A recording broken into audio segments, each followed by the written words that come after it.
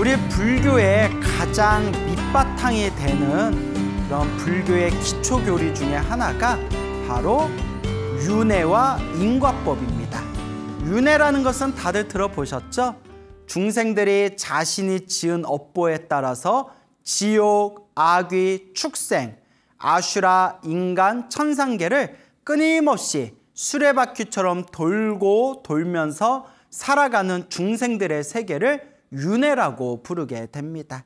그리고 이 윤회의 세상 속에서 저마다 자기가 지은 업보대로 자기가 그 업을 받으면서 살아갈 수밖에 없는 것이 바로 인과법이죠. 내가 심은 씨앗대로 그 열매를 맺게 된다. 행복도 불행도 내가 지은 원인에 의해서 행복과 불행이라는 결과가 생기게 된다라는 의미가 되겠습니다. 불교에서는 어, 믿음을 강요하지 않습니다. 그래서 불교의 가장 큰 매력 중에 하나가 이제 타종교에 대한 어떤 포용력도 있을 거고요. 그리고 불교를 믿지 않는 사람에게도 불교의 교리라든가 불교의 지식을 절대 강요하지 않죠. 그냥 믿으면 믿고 믿기 싫으면 말아라. 약간 술에 술 탄 듯 물에 물 탄 듯 오는 사람 막지 않고 가는 사람 작지 않고 이런 게 또 이제 불교의 어떤 특징 중에 하나겠죠. 그런데 이 불교에서 가장 중요한 기본적인 기초 지식이 바로 이 윤회법 그리고 인과법이고 부처님의 팔만대장경을 보면 부처님의 팔만대장경의 초기 경전에서 대승 경전에서 밀교 경전에 이르기까지 팔만대장경에 나와 있는 모든 경전에는 항상 이 윤회와 인과법, 인연법에 대해서 항상 나옵니다. 그런데 이상하게도 불교 신자라는 분들 중에서도 심지어 불교 교리를 가르치고 있는 사람들 중에서도 이 윤회와 인과법을 믿지 않는 분들이 의외로 있다라는 걸 우리가 주변에서 살펴볼 수가 있습니다. 물론 우리 불교는 믿음을 강요하지 않고 또한 그 믿음을 억지로 믿으라고 세뇌시키지는 않습니다. 믿고 안 믿고는 본인의 몫이지만 다만 제 생각에는 과연 우리가 뭐, 어, 부처님의 가르침을 공부하고 부처님의 가르침을 따르면서 부처님의 말씀이 담긴 경전을 있는 그대로 믿지 못하고 중생의 아르마리로 중생의 번뇌와 망상이 가득한 중생의 재량으로 부처님의 경전을 마음대로 판단하는 것이 과연 올바른 것인가에 대해서 저는 진지하게 어, 그 고민을 해보는 바입니다. 그래서 오늘은 과연 이 윤회라는 것은 있는가에 대해서 그냥 재미난 이야기, 그냥 스스럼 없는 그 옛날 이야기 같은 전설의 고향 같은 재미난 이야기 들려드릴까 합니다. 여러분들께서 한번 이 이야기 잘 들어보시고 여러분들이 스스로 과연 윤회라는 있는 것인지 사람이 죽은 뒤에 사후세계라는 것은 있는 것인지 과연 저승이라는 있는 것인지에 대해서 그냥 한번 여러분들이 고민해 보시기 바랍니다. 음, 먼저 옛날 이야기 하나 해드릴까 합니다. 1924년도에 1924년 저 경남 진주에서 있었던 일이라고 합니다. 1924년이면 와 거의 100년 정도가 지났네요. 거의 100년 가까이 되죠. 약 100년 정도가 되는 어, 그 해 1924년도에 그 경남 진주에 마을이 있었는데 그 마을에 비봉동이라고 있었고 옥봉동이라고 있었대요. 비봉동이라고 있었고 옥봉동이라고 있었는데 비봉동에는 38살 된 김재희라는 분이 살고 있었고 옥봉동에는 80살이 된 김재희라는 분이 살고 있었답니다. 혹시 이 방송을 보고 계시는 분 중에서 김재희 씨가 있으면 놀라지 마시고 옛날 이야기니까 그래서 옛날 약 100여 년 전에 1924년도에 경남 진주에 그 비봉동에는 38살이 된 김재희 씨가 살고 있었고 옥봉동에는 80살이 된 김재희 씨가 살고 있었다고 합니다. 두 분 다 이제 남자겠죠. 자, 근데 어느 날 38살 된 이 젊은 김재희 씨가 잠을 자고 있는데 밤늦게 누가 문을 꽝꽝꽝꽝 두들기더래요. 그래서 아, 이 시간에 누가 왔나 하고 이렇게 문을 열어봤더니 순경 차림을 하고 있는 사람이 다 이렇게 두 사람이 와가지고 자 우리랑 같이 갈 데가 있을까 어서 따라오시오. 그래서 얼떨결에 이렇게 따라갔대요. 그 순경 차림하고 있는 사람을 따라가가지고 차에 타서 어디 먼 길을 쭉 차를 타고 갔는데 또 그 당시에는 차가 굉장히 귀했던 시절이지 않습니까? 자동차가. 그래서 이제 차를 타고 쭉 가다가 이제 어느 큰 건물 앞에 내렸답니다. 그래서 건물 안에 들어갔더니 건물에 막 수많은 사람들이 막 이리저리 일하고 있고 저기에 한 몇십 명, 수십 명 되는 사람들이 이렇게 쪼그리고 이렇게 이제 앉아 있더래요. 그래서 자기 보고 저기 같이 이렇게 앉아 있으라고. 그래서 얼떨결에 어, 여기는 어디지? 여기는 어디지? 이렇게 이제 막 갈팡질팡하고 있는데 그때 서기, 서기 업무를 보고 있는 사람이 쓰고 오더니 김재희 씨 어서 오십시오. 이곳은 명부입니다. 이렇게 얘기를 하더래요. 명부. 명부는 이제 어, 우리말로 번역하면 저승 정도 돼요. 사후세계, 저승세계, 염라대왕이 있다는 저승세계를 명부라고 부릅니다. 그래서 우리가 지장보살님 모셔놓고 있는 법당을 지장전이라고도 하고 명부전이라고도 부르잖아요. 왜 명부전이라고 하냐면 지장보살님은 저 저승세계에서 지옥에 떨어진 중생들을 제도하시는 분이기 때문에 지장보살님이 계시고 있는 또 법당을 지장전이라고도 부르고 명부전이라고도 부르고 있습니다. 자, 어쨌거나 자, 그래서 그 서기 업무를 보고 있는 사람이 젊은 김재희 씨한테 여기는 명부입니다. 여기는 명부인데 정말 잘 오셨어. 당신은 당신의 타고난 수명이 80분이 안 되기 때문에 80살 다 마치고 나서 여기 온 겁니다. 조금만 기다리면 이제 좋은 곳으로 가게 될 테니까 좋은 자리로 가게 될 테니까 좀 기다리십시오. 이렇게 이야기를 하더래요. 근데 이 젊은 김재희 씨가 가만히 듣더니 아니 아무리 따져봐도 자기가 38살인데 80살이 다 수명을 맞춰서 여기 온 겁니다 라는 말을 듣고 이해가 안 돼가지고 그 서기한테 이제 이야기를 했대요. 저 여보쇼, 여보쇼. 나는 38살이요. 나는 38살입니다. 근데 그 서기가 눈이 좀 나빴나 봐요. 이렇게 보면 38살이랑 80살이랑 차이가 딱 나지 않나요? 그래서 아무리 머리에 염색해도 아무리 뭐 얼굴에 보톡스 맞아도 38살하고 80살은 차이가 나죠. 그래서 그 서기가 굉장히 눈이 나쁜 사람이었나라는 생각이 들더라고요. 여보세요. 80살이 이제 다 돼서 온 거니까 좀 이따 이제 좋은 자리로 가게 될 테니까 좀 기다리시오. 그 38살 먹은 사람한테 그런 소리를 하고 있으니. 그래서 38된 젊은 김재희 씨가 깜짝 놀라면서 아니 나 이제 38살이고 나 80 아니라고. 그래서 서기 업무 보고 있던 사람이 깜짝 놀라서 이렇게 서류를 막 뒤쳐보더래요. 서류를 이렇게 뒤쳐보더니 어 저기 옥봉동에 살고 있는 80살 된 김재희 씨 아닙니까? 그러니까 이 젊은 김재희 씨가 저는 비봉동에 살고 있는 38살 된 김재희입니다 하니까 깜짝 놀라서 한바탕 그게 다 뒤집어졌대요. 그래서 막 서기들이 막 몰려와서 서류 찾아보고 막 그래서 이제 저기 순경 차림을 한 사람들 이렇게 불러가지고 호통을 치면서 사람을 제대로 어? 데려와야지 엉뚱한 사람을 데려오면 어떡하냐 라면서 호통을 크게 치더랍니다. 그래서 저승세계 시스템도 좀 이상한 것 같아요. 저 이런 거 보면 가끔 이런 설화들 보면 저승사자가 사람 잘못 데려가는 내용들이 좀 많거든요. 만약에 이 이야기가 사실이라면 참 저승세계도 답 없다. 아, 이거 또 이런 얘기 하다가 나중에 저 죽어서 염라대왕한테 혼날까봐 걱정되는데, 아, 솔직히 저승세계도 좀 이상한 것 같아요. 시스템이 좀 이상한 것 같아요. 자, 어쨌거나 부랴부랴 아유 빨리 집으로 돌아가십시오 하고 막 자기를 막 건물 밖으로 밀어내더래요. 빨리 집으로 돌아가라고. 그래서 그 순경 따라서 다시 집으로 딱 들어오는 순간 눈에 번쩍 떴더니 한바탕 꿈이었던 거예요. 한바탕 꿈이라서 이렇게 자리에서 이불에서 이렇게 일어나가지고 아유 정말 생생한 꿈이다 하고 시계를 봤더니 이 세계 시계가 새벽 새벽 한 2시 정도가 되었더래.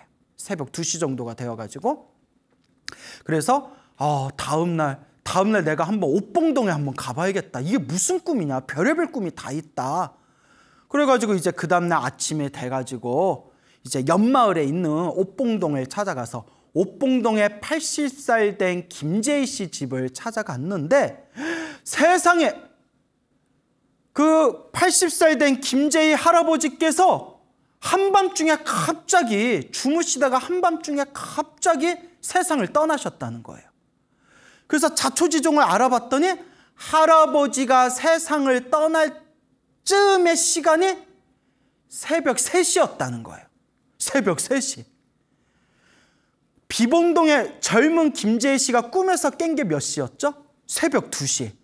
그러니까 저승사자가 집에다 데려줘 가지고 눈을 뜬 게 새벽 2시였고 새벽 2시에 젊은 김재희 씨 데려다 놓고 몇 시에 데려간 거예요? 새벽 3시에 이제 옥봉동에 있는 할아버지 김재희 할아버지를 데려간 거겠죠. 이야기로 보면 야 별의별 일이 다 있구나 하고 온몸에 소름이 쫙 끼치면서 그래서 그 장례식 치를 때 요 젊은 김재희 씨가 그 할아버지 김재희 돌아가신 할아버지 김재희 김재희 할아버지 집에 가서 문상을 하면서 자기가 한밤중에 겪었던 이야기 자초지종을 그대로 이야기를 했더니 그 집에 있던 집안 식구들이 다들 놀래가지고 아이고 이렇게 와주셔서 고맙습니다. 정말 별의별 일이 다 있네요. 정말 신기합니다. 라고 그렇게 고맙다고 인사를 하더랍니다. 근데 이게 옛날 100년 전에 사람들 순진했을 때니까 이런 얘기하면 믿지 이게 믿는 거지. 여러분들 생각해 보세요. 갑자기 뭐 남의 집 장례식장 무슨 무슨 병원 장례식장 몇 호실에 가가지고 실은 제가 한밤중에 제 이름이 똑같은 이름 제가 이제 어, 광우 스님인데 어, 제 성이 김씨인데 어, 저 데리러 왔다가 야 요 광우 스님은 아직 젊은 광우 스님이잖아 저기 어? 저기 어디 어디에 있는 나이 많으신 김광우 할아버지 데려오려고 뭐 이런 얘기 들어가지고 다시 깨어난 뒤에 장례식장에 김광우 할아버지 장례식장에 가서 실은 한밤중에 이런 일이 있었습니다 이러면 아마 가족들이 뭐라고 생각했어요 야 세상이 뒤숭숭하다 보니까 참 별 이상한 중이 와가지고 뭐 이러면서 이제 욕하지 않겠어요? 그러니까 옛날 사람들이니까 또 이런 말을 하면 또 믿었겠죠. 그래서 김제의 할아버지 가족분들이 너무나 고마워하면서 그래서 통도사 포교당, 통도사 포교당에 있는 만선 스님이라는 만선이라는 법명을 가진 만선 스님을 모셔가지고 그게 49제까지 아주 잘 모셨다라는 이야기가 지금까지 그렇게 전해지고 있다고 합니다. 근데 이런 이야기 많잖아요. 우리가 전설의 고향이나 불교 설화집이나 옛날 이야기들 보면 이름이 똑같은데 잘못해서 막 데려오고 어, 돌려보내고 이런 이야기 많지 않습니까? 그래서 제가 다시 한번 이야기하지만 이 저승도 이제 사실 이제 불교적인 입장에서 보면 염라대왕도 중생으로 봅니다, 여러분. 우리가 민간 신앙, 민속 신앙에서는 염라대왕을 굉장한 신으로 여기지만 불교적인 관점에서는 염라대왕도 이렇게 중생으로 봐요. 중생. 신은 신인데 특별한 신에 갖춘 신인데 그렇게 대단한 존재로 보지는 않고요. 그리고 또 불교설화에 보면 염라 대왕들은 이제 저승세계 가면 염라 대왕이 열 분이 있다고 하거든요. 그래서 시왕이라고 불러요. 그래서 저승세계에 있는 이 저승의 왕들은 사실 복을 많이 지어서 저승의 왕이 된 게 아니라 전생에 좀 업보가 있어서 저승의 왕이 되었다라는 이야기가 설화에 나옵니다. 그래서 전생에 복을 많이 지었으면 하늘세계 신으로 태어났을 텐데 전생에 빚진 게 많기 때문에 맨날 죄 많은 중생들 맨날 얼굴 보고 판결 내려야 되는 지금으로 치면 이제 노동이죠. 노동. 강도 높은 노동이죠. 그래서 그런 이제 업무를 맡게 되었다. 그러니까 염라대왕을 우리가 굉장히 이제 높은 존재로 보지만 불교설화에서는 염라대왕이 전생에 지어놓은 빚이 많고 업보가 많아서 저승세계 왕이 된 거지. 그렇게 불교에서는 엄청난 그렇게 어, 큰 존재로 보지는 않습니다. 아, 물론 우리 중생들보다 이제 높은 분이겠죠. 어쨌거나 우리들을 판결해 주시는 분이니까. 자, 그래서 이와 같이 옛날 이야기들을 보면 제가 다시 한번 느끼는 게 아, 염라대왕도 사실 중생이고 저승사자들도 중생들이거든요. 또 똑같은 얘기지만 불교설에 보면 전생에 빚을 많이 지고 업이 두꺼운 존재들이 저승사자가 돼가지고 그 빚을 갚아야 된답니다. 그 저승사자가 절대 좋은 자리가 아니에요. 굉장히 이제 어, 노동이 아주 심한 그런 이제 굉장히 힘든 직업군 중에 하나라고 그렇게 불교설에 나옵니다. 그래서 저승사자나 염라대왕이 아직 중생의 그런 수준이라서 그런지 저승세계가 다시 한번 생각해 보지만 시스템이 좀 엉망이다. 그 엉뚱한 사람들 자꾸 데려가는 거 보면 조금 거기도 시스템이 엉망이고 아마 컴퓨터 전산 처리가 제대로 안 돼 있나 뭐 이런 여러 가지 생각이 제가 일어납니다. 뭐 어쨌거나 뭐 죽어봐야 아는 세계고 또 제가 이런 얘기 했다고 또 나중에 저승에 끌려가가지고 염라대왕한테 아그 광우 스님 아무리 그래도 그렇지 그 사람들 앞에서 염라대왕이 그렇게 우리가 생각하는 것만큼 대단한 존재가 아니요. 그 그런 말씀을 그렇게 서운하게 하십니까? 또 이렇게 또 쓴소리 들을 수도 있겠죠. 자, 그래서 나무아미탑을 연부를 열심히 해서 염라대왕 만날 필요도 없이 빨리 극락세계 가야 되겠다라는 그런 생각이 지금 머리를 스치고 있습니다. 자, 어쨌거나 이렇게 경남 진주시에 있었던 젊은 청년 김재희 군과 또 이제 연세 많으신 김재희 할아버지의 그런 어떤 옛 이야기가 되겠습니다. 그래서 이건 옛날 이야기고요. 지금부터 제가 정말 드리고 싶은 본격적인 재미난 이야기가 있는데요. 제가 순천 송광사에 아주 불심이 깊은 거사님이 계세요. 아주 불심이 깊고 신심이 아주 깊은 그런 제 연세가 있으신 거사님이 계시는데 이 거사님께 제가 직접 들은 이야기입니다. 어, 제가 이 이야기를 듣고 어찌나 신기하고 또 어찌나 제 마음속에 아주 그런 이렇게 신심이 이렇게 나던지 그 거사님께 아이고 거사님 우리 소나무 불자님들 위해서 이렇게 좋은 이야기 저한테 들려주셔서 정말 감사드립니다 라고 제가 그렇게 인사를 드렸습니다. 그러니까 여러분 한번 오늘 이야기 한번 잘 들어보세요. 저 순천 송강사 불일 불교대학 불교대학에서 열심히 공부하고 계시는 아주 불심이 깊은 거사님이 계시는데 이 거사님께서 젊었을 적부터 여러 절을 다니면서 봉사도 많이 하시고 보시도 많이 하시고 사찰가 스님들도 많이 도와주신 그런 신신 깊은 거사님이세요.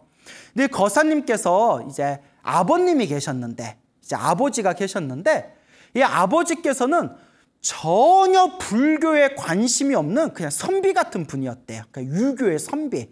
원래 유교에서는 뭐 별로 불교라든가 종교에 관심이 없지 않습니까? 그러니까 이제 공자왈, 맹자왈 하면서 삼강 오륜 지키면서 그렇게 살아있을 때 최선을 다하면서 사는 거지 죽은 뒤의 일은 어, 생각하지 않는다. 이런 게 이제 옛날 유교 선비들 그런 어떤 생각들이었지 않습니까? 근데 이 거사님의 아버님 되시는 분이 그냥 옛날 옛적 분이시니까 그게 특별히 종교에도 관심 없고 불교나 절이나 부처님 가르침에도 관심 없고 그냥 유교의 선비같이 그냥 꼿꼿한 그런 분이셨대요. 그러다가 아버지께서 노환으로 그렇게 이제 큰 병에 걸리셨는데 큰 병에 걸리면서 이제 치료하는 과정에서 아버지께서 많이 힘들어 하셨대요. 그래서 여러분, 평소에 종교에 관심이 없던 사람들이 갑자기 큰 병에 걸렸거나 아니면 이제 연세가 많아지셔서 이제 세상을 떠날 날이 얼마 남지 않거나 했을 때 갑자기 그런 종교에 의지하고 싶어 하는 그런 마음이 생기지 않습니까? 그래서 아버지께서 큰 병에 걸리셔서 이제 병을 치료하는 그런 과정에서 우리 거사님이 아버지를 이렇게 모시고 그 송광사 방장 스님이셨던 보성 큰 스님을 이제 찾아뵙게 됩니다. 그 송광사 방장을 오랫동안 그런 자리에 계셨던 보성 스님이라는 그런 어른 스님이 계셨거든요. 몇 해 전에 세상을 떠나셨어요. 그래서 지금 방장 스님은 다른 분이시고 몇 해 전에 세상을 떠나신 그런 송광사 방장 보성 큰 스님 그렇게 아주 덕이 높으신 어른 스님이 계셨습니다. 저도 이제 송강사 유런에 있을 때 아주 가끔씩 찾아뵙고 이렇게 인사드렸던 적이 있었는데요. 그래서 이제 그 당시에 방장이셨던 보성 스님을 찾아뵙고 이렇게 인사를 드렸더니 이제 보성 스님께서 아버지한테 이렇게 좋은 말씀을 많이 해주셨대요. 좋은 말씀을 많이 해주시면서 자 나무 아미탑을 연부를 열심히 하십시오. 나무 아미탑을 나무 아미탑을 항상 아침에 눈 뜨면 저녁에 잠들 때까지 나무 아미탑을 연부를 많이 많이 하십시오라고 아주 그렇게 간곡하게 권유를 하시면서 보성 스님께서 어른 스님께서 항상 이렇게 몇 년 동안 직접 염주를 굴리던 그러니까 굴리던 염주를 이렇게 선물을 주셨대요. 여러분 원래 스님께서 이렇게 당신이 평소에 이렇게 굴리던 염주를 이렇게 일반 신도들에게 쉽게 이렇게 주지는 않지 않습니까? 당신의 손때가 묻은 걸. 근데 이제 보성 방장 스님께서 그 당신이 직접 그 굴리던 염주를 그 아버지께 이렇게 드리면서 노거사님 그 염불 열심히 하십시오. 나무아미탑을 염불 열심히 하십시오라고 그렇게 아주 간곡하게 권유하셨다고 합니다. 그러니까 평소에 종교라든가 불교에 전혀 관심이 없었던 요 아버님께서 그 보성 방장 스님의 가마를 받으시고 난 뒤에 그날부터 나무아미탑을 염불을 정말 열심히 하셨대요. 매일매일 염주를 굴리면서 보성 스님께서 주신 염주를 이렇게 굴리면서 나무아미탑을 나무 아미탑을 항상 입으로 나무 아미탑을 나무 아미탑을 아침에 일어나면 저녁에 잠들까지 항상 나무 아미탑을 나무 아미탑을 연부를 그렇게 정성껏 하셨답니다. 그래서 나중에 이제 병원에 입원하셔가지고 병을 그런 치료하는 과정에서 굉장히 힘들고 굉장히 괴로우셨는데 그렇게 힘들고 괴로운 그 투병 과정 중에서도 오로지 나무 아미탑을 연부를 하시면서 항상 정신을 고요하고 편안하게 당신을 이렇게 다스리셨대요. 그래서 거사님께서 그 아버님이 힘들게 그 치료를 받으시는 와중에서도 나무아미 탑을 연불하시면서 그렇게 마음을 다스리시는 그런 모습을 보고 아 정말 연불공덕이 있구나 저렇게 힘들고 괴로우실 텐데도 저렇게 묵묵하게 연불하면서 요 치료를 다 받고 계시는구나 그런 생각이 들더랍니다. 그런데 이제 세상과 이제 인연이 닿으실 때가 되었는지 의사가 찾아와서 의사가 이제 병원에서 가족들 모아놓고 이제 얼마 남지 않은 것 같습니다. 임종이 이제 코앞에 온 것 같습니다. 우리 가족분들 이제 마음의 준비를 좀 하십시오. 마음 준비를 좀 하십시오라고 의사 선생님이 그렇게 가족들한테 당부를 했대요.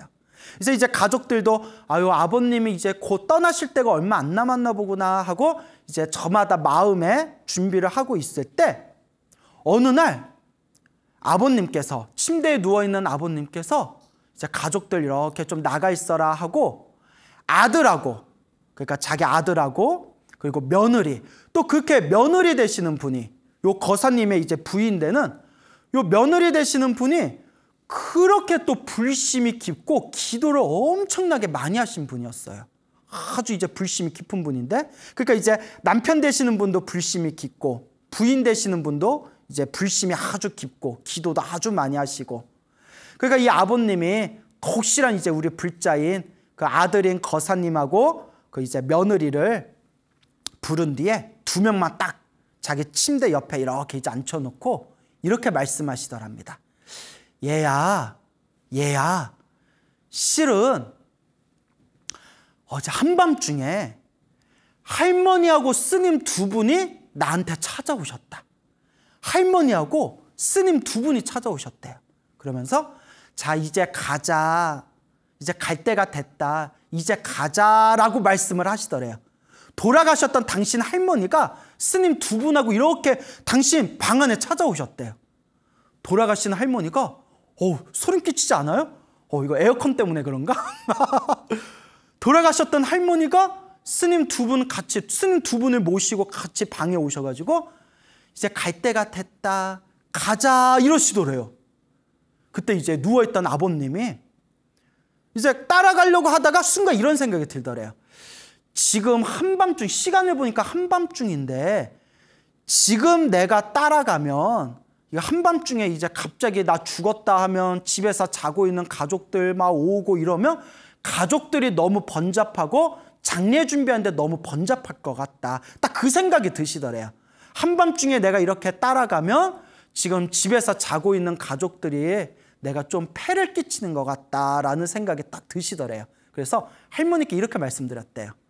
지금 가면 지금 우리 자고 있는 우리 애들한테 미안하니고 너무 막 상황이 이렇게 어, 복잡하고 번잡해지니까 제가 내일 아침 따라갈게요. 다음 날 아침에 따라갈게요. 라고 말씀을 드렸대요. 다음 날 아침에 따라가겠습니다. 이제 애들하고 인사도 하고 다음 날 아침에 따라갈게요. 라고 돌려보냈대요. 일단.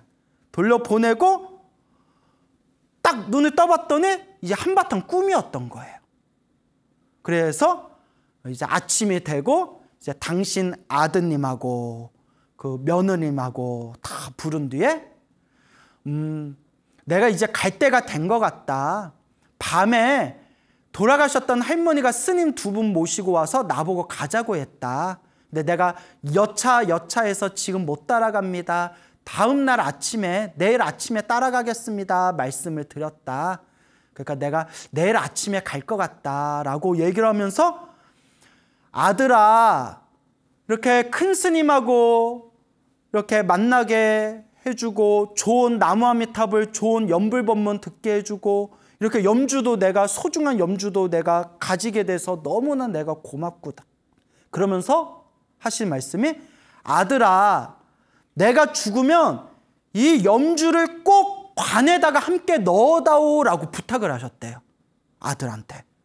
아들아 요거 보성 큰 스님이 주신 이 염주 내가 죽으면 관에다가 꼭 같이 넣어다오 이렇게 얘기를 하니까 아 이제 그 거사님하고 그 이제 며느리 되는 분은 아 아버님 아 그런 얘기 왜 하세요? 아 이제 당황스럽죠. 이제 장, 당신 떠난다 이러니까 그러니까 아이 그냥 편하게 쉬고 계시고 나중에 아버지 돌아가시면 이거 염주 그 관에다가 제가 잘 모셔서 넣어드릴게 아무 걱정 마세요. 근데 그렇게 불교에도 관심이 없고 종교에도 관심이 없었던 아버님께서 그 남은 기간 동안 그렇게 지극정서 염주를 굴리면서 나무 아미탑을 나무 아미탑을 염불 하시면서 내가 죽으면 이, 염, 이 염주를 꼭 관에다 넣어줘야 된다라고 몇 번이나 다짐을 받으셨대요. 그래서 아버지 좀 쉬세요, 좀 쉬세요 하고 이제 병원 밖으로 나가서 아 왜 저런 얘기를 왜 하시지? 아유 뭐 막 이래서 이런 이야기를 했겠죠. 그리고 그 다음 날 아침이 됐을 때 아버님이 세상을 떠나셨대요. 그 소식을 듣고 거사님이 아이고 아버님이 보신 게 헛게 보신 게 아니었구나. 아버님이 당신 떠날 걸 다 아셨구나 라고 그 마음에 느낌이 촥 하고 오시더랍니다. 그러니까 여러분 원래 한밤중에 한밤중에 돌아가셨던 할머니 할머니께서 스님 두 분하고 함께 오셔서 얘야 이제 갈 때가 됐으니 가자 했는데 근데 여기서 여기서 중요한 게 있어요. 보통 사람이 죽을 때 우리가 옛날 이야기 들으면 옛날 이야기에 사람 죽을 때 누가 찾아오죠? 저승사자가 찾아오잖아요. 그 저승사자가 보통 어떤 모습이죠? 뭐 검은색 뭐 가세 검은색 옷 입고 음, 김서방아 김서방아 갈 때가 됐구나 어서 오너라 막 이러, 이러지 않습니까? 전설의 고향 보면 그리고 보통 아 나 지금 못 갑니다. 다음 날 아침에 갈게. 다 지금 못 갑니다 하면 야, 네 마음대로 그렇게 미룰 수 있는 게 아니다. 염라대왕님 바쁘시니 어서 오거라. 늦게 가면 너 어? 가산점 붙어가지고 벌점 붙는다. 뭐 이러면서 끌고 가지 않습니까? 그런데 거사님은 나무아미탑을 연보를 열심히 하셔서 그런지 자 할머니하고 같이 저승사자가 아니라 누가 같이 오셨죠? 그게 중요해요, 여러분. 스님이 같이 오신 거예요. 스님이. 염라대왕이 오신 게 아니라 스님이 오신 거예요. 제가 이 얘기를 딱 듣는 순간 아유 우리 거사님이 정말 좋은데 태어나셨겠구나. 만약 거사님이 나무아미탑을 연불하면서 제가 죽으면 오직 극락세계 태어나게 해주십시오. 오직 아미타 극락세계 태어나게 해주십시오라고 간절하게 발원을 했으면 아마도 아미타 부처님이 이렇게 직접 데리러 오실 수도 있었겠지만 이렇게 이야기를 들어봤더니 거사님께서 나무아미타불 나무아미타불 염불은 하시되 이렇게 극락세계 태어나게 해주십시오라고 발원하신 것 같지는 않더라고요. 하지만 아미타 극락세계 태어나게 해주세요라고 발원을 안 했다 하더라도 염불공덕은 있잖아요. 나무아미타불 나무아미타불 염불공덕은 있지 않습니까? 그러니까 저승사자 두 명이 찾아온 게 아니라 스님 두 분이 찾아오신 거예요. 그 얘기를 딱 듣는 순간 아 연불공덕이 있어서 분명히 좋은 데 가셨겠구나. 스님이 직접 데리러 왔으니 정말 좋은 세상으로 가셨겠구나라는 생각이 들더라고요. 그래서 할머니한테 할머니 지금 한밤중에 지금 죽으면 가족들한테 민폐 끼치니까 어, 그 아침에 제가 가겠습니다. 다음 날 아침에 가겠습니다. 하시더니 아내야 다를까 어, 그 아침에 아들하고 며느님 불러서 나 다음 날 아침에 갈 거니까 그렇게 알아라 하시더니 정말 당신이 말씀하신 대로 생생하게 의식이 깨어 있는 채 두 눈을 감고 그 마지막 죽는 순간에도 염주를 굴리면서 나무 아미타불 나무 아미타불 염불을 하시면서 그렇게 세상을 떠나셨다고 합니다. 아, 너무 놀랍지 않습니까? 나무 아미타불, 나무 아미타불. 정말 그 연세 많으신 그 아버님께서 비록 불교에 관심도 없고 부처님 가르침에 관심도 없었지만 전생에 한 가닥 복이 있고 성근이 있으셔가지고 전생에 지어놓은 공덕이 있어서 이번 생에 좋은 그런 훌륭한 불신 깊은 아들을 만나가지고 아드님 덕분에 큰 스님을 칭견하여 나무 아미탑을 연불본문을 배우고 염주를 선물 받으셔서 마지막 가시는 그 길에 나무 아미탑을 염주를 굴리며 다음 세상에 정말 좋은 데 가셨구나라는 그런 생각이 들었습니다. 그래서 이와 같이 실제로 마지막 그 죽는 순간에도 연부를 하셔가지고 세상을 떠나실 때 편안하게 곱게 떠나신 그런 불자님들 이야기가 굉장히 많습니다. 그래서 이런 이야기가 있죠. 명나라 시대 때 최고의 고승으로 손꼽히던 감산 스님이란 분이 있었어요. 이 감산 스님께서 출가기 전에 어렸을 때 어렸을 때 집에서 놀고 있었는데 옆집에 있는 연세 많으신 할머니께서 항상 연부를 하시더래요. 그래서 할머니께 여쭤봤대요. 할머니 할머니 할머니는 연부를 왜 그렇게 많이 해요? 연부라면 뭐가 좋아요? 연부를 왜 그렇게 많이 하세요? 하니까 할머니가 하시는 말씀이 어, 우리 내 주변에 있던 사람들 중에 연부를 한 사람들이 항상 보면 죽을 때 다들 편안하고 곱게 죽더라. 내가 그걸 두 눈으로 수없이 목격했기 때문에 그래서 나도 이렇게 죽을 때 편안하고 곱게 가려고 이렇게 열심히 연부라는 것이다 라는 그런 내용이 이제 감산스님 1화에 나옵니다. 그래서 실제로 지금 현대 이 순간에도 살아생전에 마음을 편안하게 잘 쓰고 항상 연부를 많이 닦으셨던 분들이 돌아가실 때 굉장히 맑고 편안하게 돌아가신 사례가 부지기수로 많습니다. 그래서 여러분 우리가 흔히 뭐 웰다잉 웰다잉 이렇지 않습니까? 어? 죽을 때 죽더라도 잘 죽자. 진정한 웰다잉은 연불입니다, 여러분. 그래서 항상 살아있을 때에도 행복하게 잘 살아야 되지만 죽을 때에도 아름다운 마무리. 그것이 바로 연불 공덕의 힘이 아닌가 생각이 됩니다. 그 우리 불자 여러분 항상 항상 노는 입에 늘 연불하시기 바랍니다. 그런데 이 이야기가 여기서 끝이 아니에요. 그 뒤에 더 놀라운 이야기가 있습니다. 잘 들어보세요.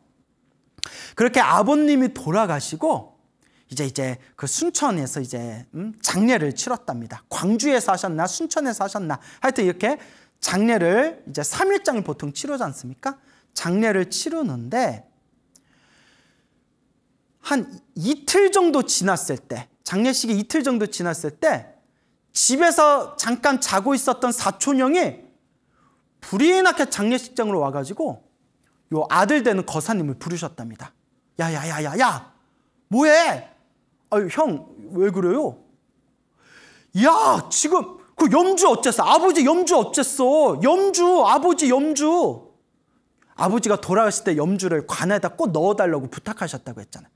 염주 어딨어? 하니까 아예 아버지 그 영정사진 옆에다 잘 모셔놨어요. 나중에 그 장지 가서 어 이제 관 이렇게 모실 때 안에다 다 하려고 다 이렇게 잘 모셔놨어요. 아 가서 한번 보라고 있어?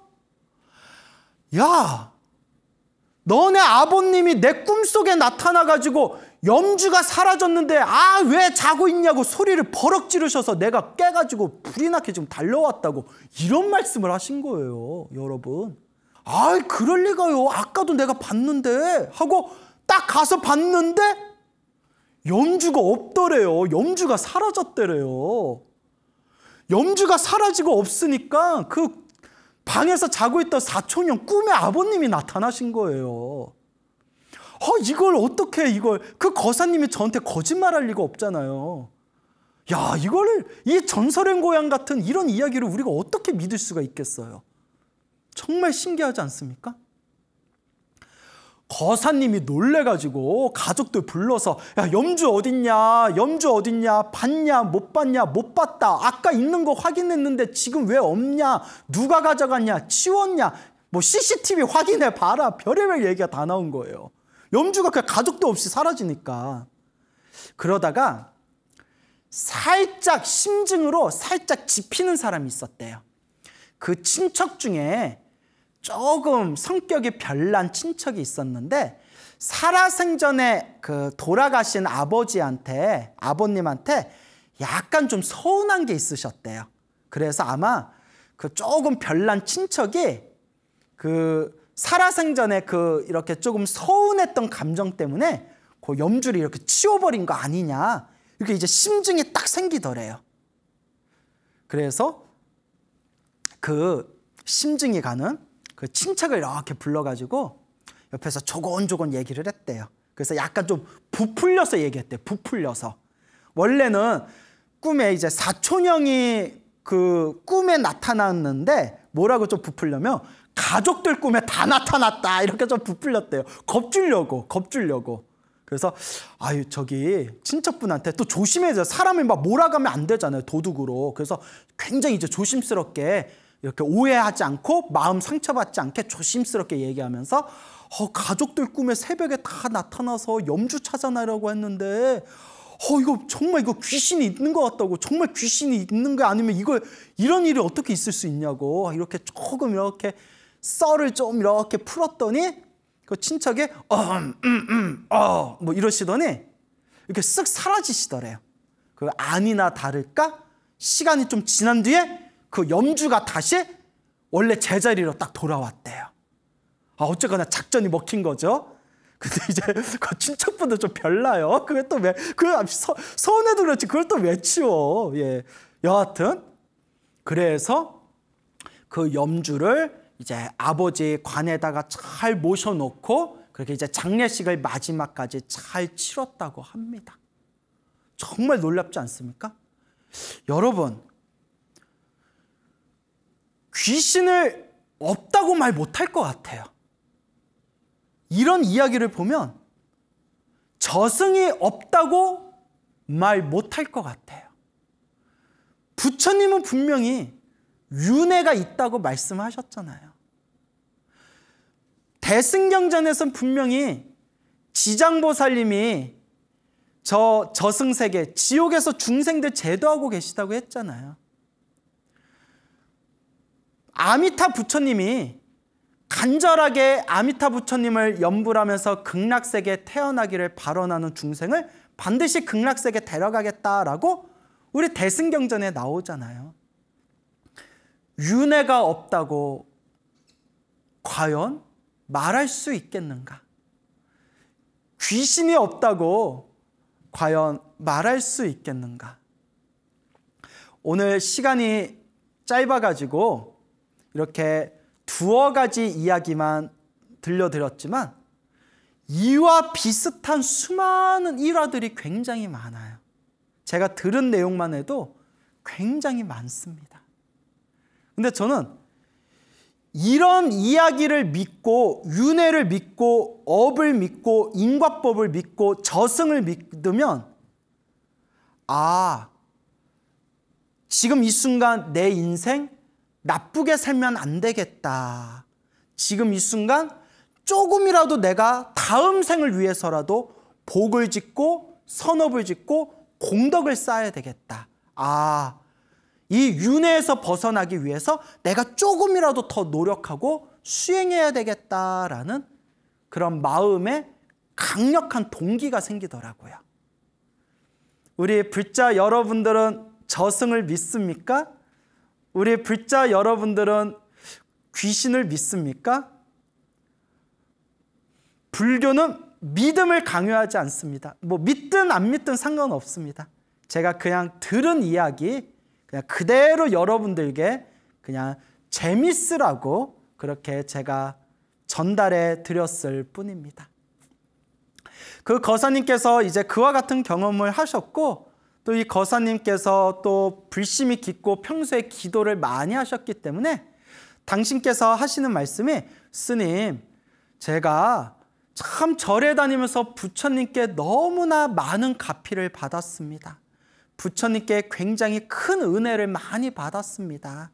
그래서 지금도 부처님 은혜 갖기 위해서 제가 이렇게 어, 절에 다니면서 봉사하고 있습니다. 라고 말씀하신 그런 순천 송광사의 아주 불심이 깊은 거사님의 이야기가 되겠습니다.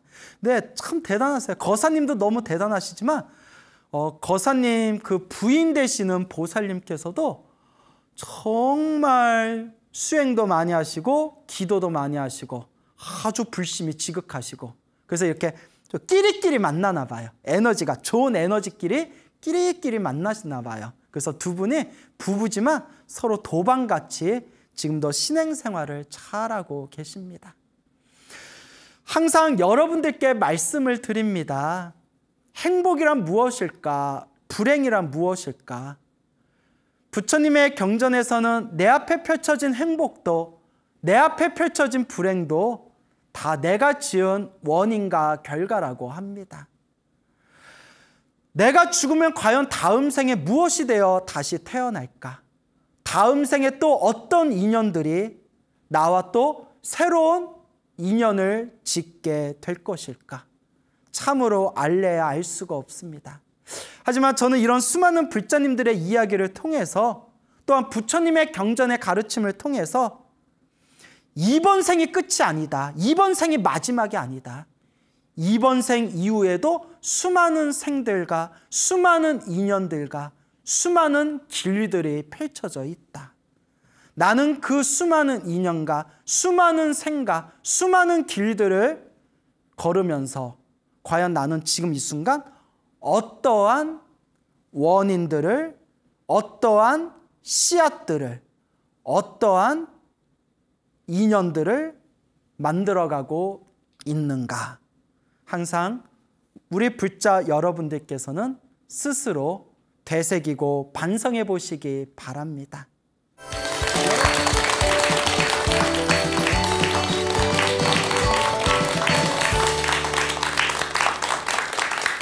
예, 만나서 반갑습니다. 반갑습니다. 예, 광웅호 스님입니다. 그 예전부터 이 소나무를 초등학생들이 많이 보고 있다라는 이야기를 들었어요. 이해가 안 되더라고요. 그 애들한테 초등학생의 애들한테도 편지 몇 번 오고 했는데 그래서 음 그 뭐 할머니를 막 노보살님을 만나면 아 우리 손주가 그렇게 소나무를 좋아해요 막 이러시고 그래서 어, 엊그저께도 우리 그 불교대학에서 공부하시는 불자님이 계시는데 자기 조카가 초등학교 4학년이래요. 하루 종일 소나무를 보고 있대요. 초등학교 4학년짜리가. 예, 중대려나? 그래서 예. 아니 근데 예, 소나무의 내용이 내용이 그렇게 아이들의 적합한 내용은 아니라고 저는 생각하는데 예, 예 인가요? 그래서 뭐나 어, 광호 스님한테 공부하고 있다 이러니까 사인 받아 달라고 이렇게 사인해 줬죠. 그래서 예, 기분이 묘하더라고요. 어, 아이들이 좋아하는 이유가 뭘까 곰곰이 생각해 봤는데 이야기가 옛날 그 전설의 고향 같은 이야기 있잖아요. 예? 전설의 고향, 뭐 예? 이야기 따라 산말리 뭐 이런 거 있잖아요. 그래서 아이들이 되게 재밌나 봐요. 예, 그리고 또 이제 불자님들이 뭐 우리 소나무 보고 있으면 시간 가는 줄 모르게 보고 있다고 이런 얘기를 자주 듣고 하는데 오늘 또 전설의 고향에 나올 법한 재미난 이야기 하나 준비해 왔습니다. 옛날에 젊은 스님이 탁발을 나가셨대요.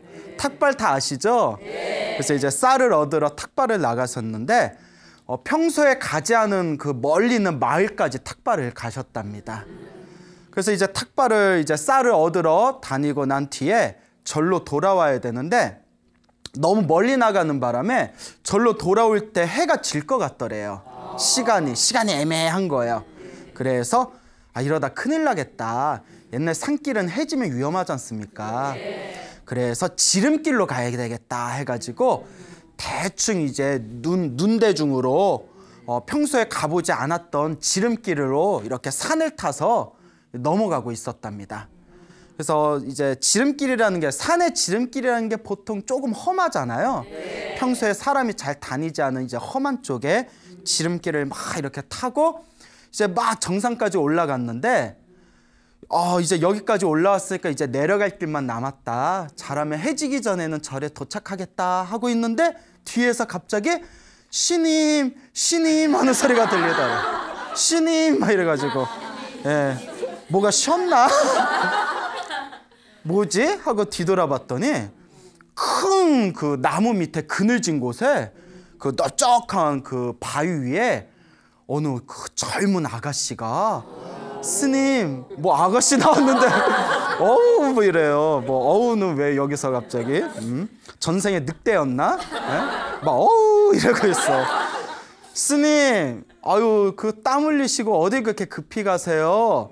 오셔서 물 한 잔 드세요. 이러는 거예요 그 넓적한 그늘 밑에 넓적한 바위에 젊은 아가씨가 그래서 어, 이, 이, 이 깊은 산에 웬 젊은 아가씨가 저렇게 혼자 있지? 좀 이상하잖아요.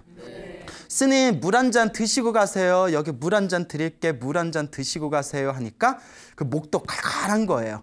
그래서 그 물 한 잔 마실까 하고 이제 갔는데 가까이 가서 그 아가씨가 주는 그 이제 물잔을 딱 받는 순간 깜짝 놀란 거예요. 여자가 너무 예뻐. 네. 너무 예쁜 거야. 깜짝 놀랐어요. 흠칫? 예. 어, 왜 이렇게 예쁘지? 예. 그 스님이 순간 그 산에 예쁜 여자가 있으면 좀 의심스럽잖아요. 그런데 예쁘면 모든 게 용서돼.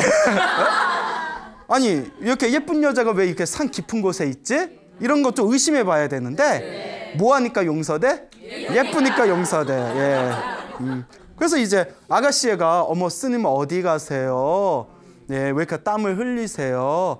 어, 절은 어디 계세요? 어, 디서 오신 거예요? 자꾸 이렇게 쾌활하게 이제 말을 시키는 겁니다. 이제 스님이 자꾸 예쁜 아가씨가 말을 거니까 기분이 해벌레 해가지고 그막 이렇게 대화를 나눴대요. 세상 사는 이야기, 뭐 이런저런 이야기, 저런 이런 이야기 대화를 나누다가 이제 우리 스님들은 연부를 많이 하신 스님들은 평소에 연부를 많이 하시는 스님들은 언어 습관 중에 하나가 연부라는 버릇이 있어요. 뭐 대화하다가 아이고 나무아미타불이라든가 아이고 관세음보살이라든가 예. 그러니까 그냥 일종의 습관이에요. 하도 연부를 많이 해서. 젊은 스님이 여자하고 대화 나누다가 자기도 모르게 아이고 나무아미타불 이렇대요. 갑자기 상냥했던 여자가 소리를 꽥 지르면서 스님 한참 분위기 좋은데 이게 무슨 짓입니까? 이러는 거예요. 분위기 좋은데 이게 무슨 짓입니까? 그 스님이 벙 쪄가지고 아니 얘 왜 이러지? 뭐 조울증 있나? 예? 아까는 막 기분 좋더니 지금 왜 이렇게 또 우울하지? 그래서 근데 여자가 얼굴이 시퍼래진 거예요. 그 스님이 좀 기분이 이상한 거예요 여기서도 여기서도 어 이거 뭐가 이상한데 못 알아차려면 그냥 죽어야 돼. 이쯤 되면 뭐가 알아차려야 돼요. 그렇잖아요. 어, 왜 그러지?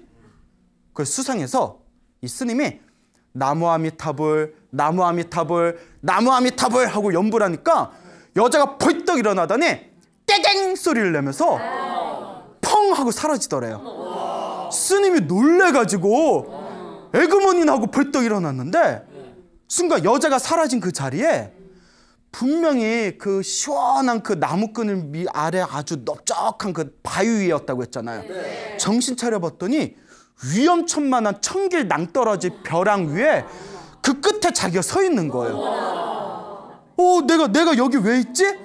하고 주변을 둘러보니까 분명히 해지기 전에 그 아가씨한테 그 물 한 잔 마시고 잠깐 대화 나눴는데 벌써 날이 껌껌해져 있는 거예요. 야, 귀신이 고칼 노릇이다. 놀래가지고 너무 무서우니까 나무 아미타불 관세음보살, 나무 아미타불 관세음보살 외치면서 막산 밑으로 내려갔대요. 막 뛰어간 거예요. 너무 무서우니까. 나무 아미타불 관세음보살, 나무 아미타불 관세음보살하고 자기가 어떻게 내려왔는지도 모르고 그냥 정신에 홀딱 그냥 넋이 나간 채로 가까스로 정신 차려 보니까 이제 말 입구까지 내려온 거예요. 너무 그냥 정신없이 막 이제 뛰어서 내려오다 보니까 그막 컥컥대면서 숨을 몰아쉬고 있는데 그때 말 입구에 할아버지가 쓱 지나가시더래요. 할아버지가 쓱 지나가시더니 스님이 막 캑캑대고 있으니까 스님, 스님, 아니 왜 왜 무슨 일을 당했길래 그 숨을 몰아쉬고 있냐고. 아, 이거 물 한 잔 드시라고, 물 한 잔 드시라고.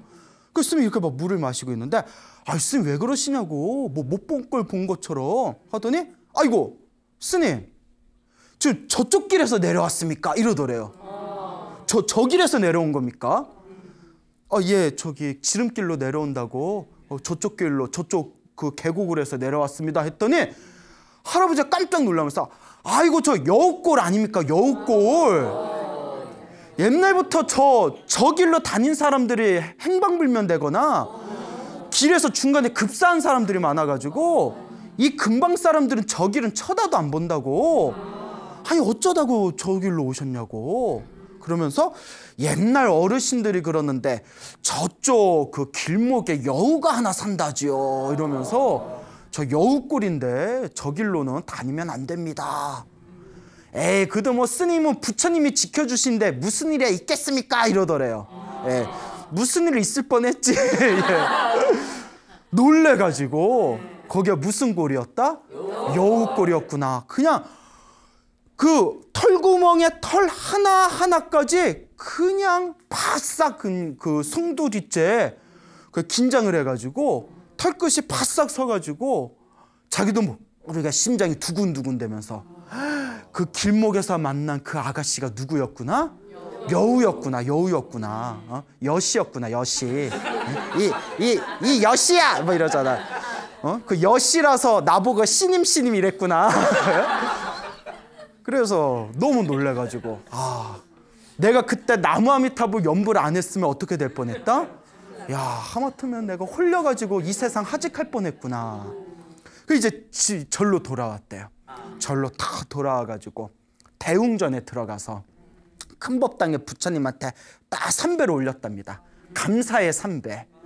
부처님 감사합니다. 딱 삼배를 올리면서 거룩하신 부처님이시여 연불 한마디에 모든 하늘의 신들이 보호해주고 연불 한마디에 모든 악귀들이 침범하지 못하고 연불 한마디에 모든 죄업이 다 소멸된다고 하셨는데 오늘에야 그 말씀을 제가 믿겠습니다 이러면서 나무 아미타불 하면서 삼배를 올렸답니다. 그러니까 이런 경험을 한번 해니까 이제 딴짓할 수 있겠어요, 없겠어요? 그렇죠. 야, 진짜 이 부처님의 가피가 대단하구나 라는 걸 느끼고 그 젊은 스님이 그 뒤로 더 열심히 수행을 하셔서 아주 큰 스님이 되셨다라는 그런 전설의 고향에 나올 법한 예, 이런 훈훈한 아름다운 이야기가 전해지고 있습니다. 그래서 저는 이 이야기를 보고 딱 느낀 게 아, 예쁜 여자가 이유 없이 나를 부르면 뭐부터 불러라? 나무아미타불 하고 불러봐야겠다. 예? 스님 하면 잠깐만요. 나무아미타불 어 괜찮네? 왜 그러세요? 여러분들도 길 가는데 괜히 잘생긴 남자가 어 아가씨 하고 부르면 뭐부터 불러라? 나무아미타불 예 부르기도 전에 여러분들한테 아가씨 하면 벌써 이상한 사람들이에요. 예, 자 이제 웃자간 말이고요. 자, 그, 이렇게 이제 또 훈훈한 재미난 불교 설화가 전해지고 있습니다. 그 오래전에 전화가 왔어요. 소나무의 아주 열성 팬이라는 분한테 전화가 왔는데 이분 이야기가 너무 재밌어서 그분이 뭐라고 하시냐면 당신이 한 오래전에 친한 친구 따라서 어디 지방에 있는 조그만 어디 절에 갔대요. 절에 갔는데 절이 좀 이상하더래요. 절이 뭐가 좀 이상하고 그 절에 있는 스님도 뭐가 좀 이상하더래요. 이걸 우리가 이게 우리가 전문 용어로 뭐라고 하죠? 얄라구따 그러죠. 어? 되게 얄라구준 절에 갔대요. 되게 얄라구준 절에 갔는데 뭐가 좀 이상하더래요. 예, 그래서 그 얄라구준 절에 가서 예, 얄라 얄라 얄라성 막 이러잖아요. 어, 왜 이렇게 얄라군냐? 거기서 이제 절에 있다가 그 절에서 잡신이 붙었대요, 자기가. 잡신.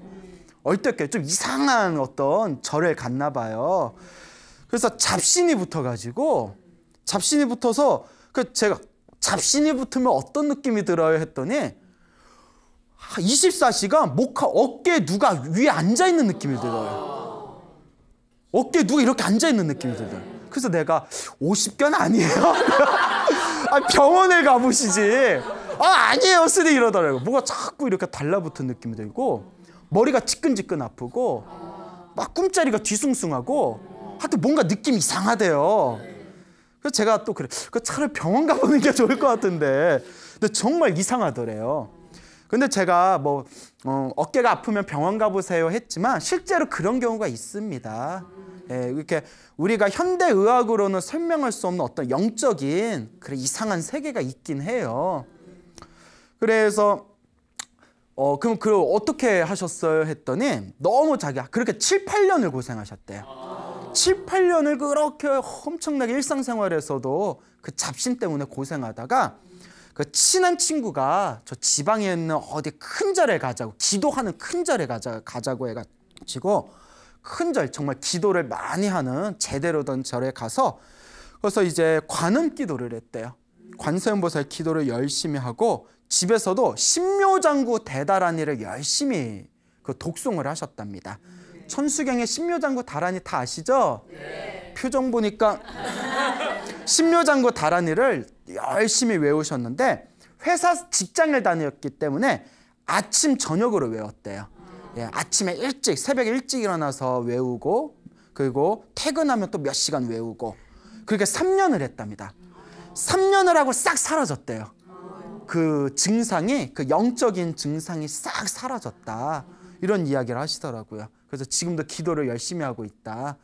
그래서 저한테 뭐라고 하시냐면 스님 제가 영, 영가를 잘 탑니다 라고 하더라고요. 불교에서는 귀신을 영가라고 하잖아요. 영가 사람이 죽으면 그 영적인 존재를 영가라고 하는데 스님 제가 어딜 가면 영가를 되게 잘 타요 이러더라고요. 그 이런 거예요. 뭐 저 같은 사람은 아무리 상갓집 왔다 갔다 하고 기도하고 그래도 뭐 그냥 뭐 아무렇지도 않거든요. 배는 고파요. 예. 그래서 여담인데 그 어느 절인지 말하기 뭐하고 그 이름만 대면 알만한 큰 절이 있어요. 거기 이제 선원이 있는데 제가 이제 그 절 이름이 못 되는 거는 혹시 그 절에 누가 될까봐. 근데 오래전에 그 절의 선방에 스님들이 참선하는 곳을 선방이라고 하는데 그 선방에 이렇게 자리 하나가 있어요. 그 자리가 있는데 그 자리에서 잠을 자면 그 자리에서 잠을 자면 꿈에 처녀 귀신이 나타난대요. 그, 그런 전설이 있어요.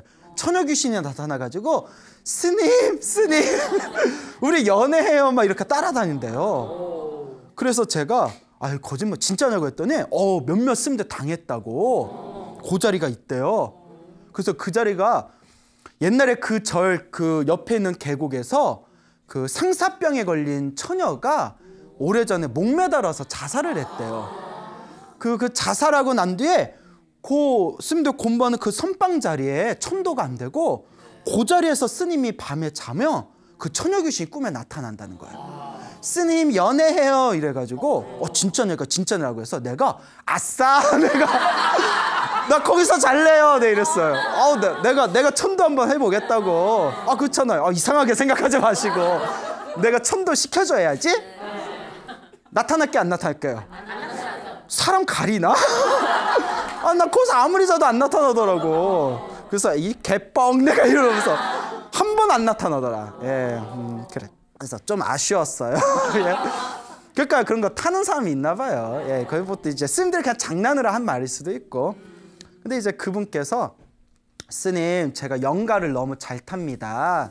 어떻게 하면 될까요? 이러셔가지고 어, 영가를 잘 탄다는 것도 전생 내 어변이다. 전생 내 업의 인연이다. 그렇죠. 누구는 멀쩡하고 누구는 잘 타고 그것도 전생의 어변이니까 어, 보살님이 전생에 영적인 기운과 이번 생에 어, 이런저런 인연을 맺을 수밖에 없는 어떤 전생의 인연이 있었나 보다. 그 이번 생에 그냥 그런 거 다 무시하고 기도 열심히 해라. 부처님 법만 믿고 기도하면 다 보호됩니다. 이렇게 말씀을 드렸거든요. 그래서 어, 우리가 살아가다 보면 실제로 사람 따라 다릅니다. 달라요. 이렇게 잘 타는 사람이 있고 그리고 전혀 나 그런 거 하나도 모르겠던데 이런 사람도 있고 근데 잘 타든 뭐 안 타든 다 전생 인연법이에요. 사실상 좀 영가 기운에 잘 탄다 하더라도 금방 말씀드린 그 여우를 만난 스님처럼 항상 마음으로 염불하고 복을 짓고 불심으로 기도를 잘 하시면 절대 걱정할 필요 있다 없다 없다 다 자기 전생의 어변이다 생각하고 꾸준하게 기도하시면 됩니다. 알겠죠? 네. 그 저도 처음에 출가했을 때는 뭐 귀신이니 영간이 이런 거잘 믿음이 안 가더라고요.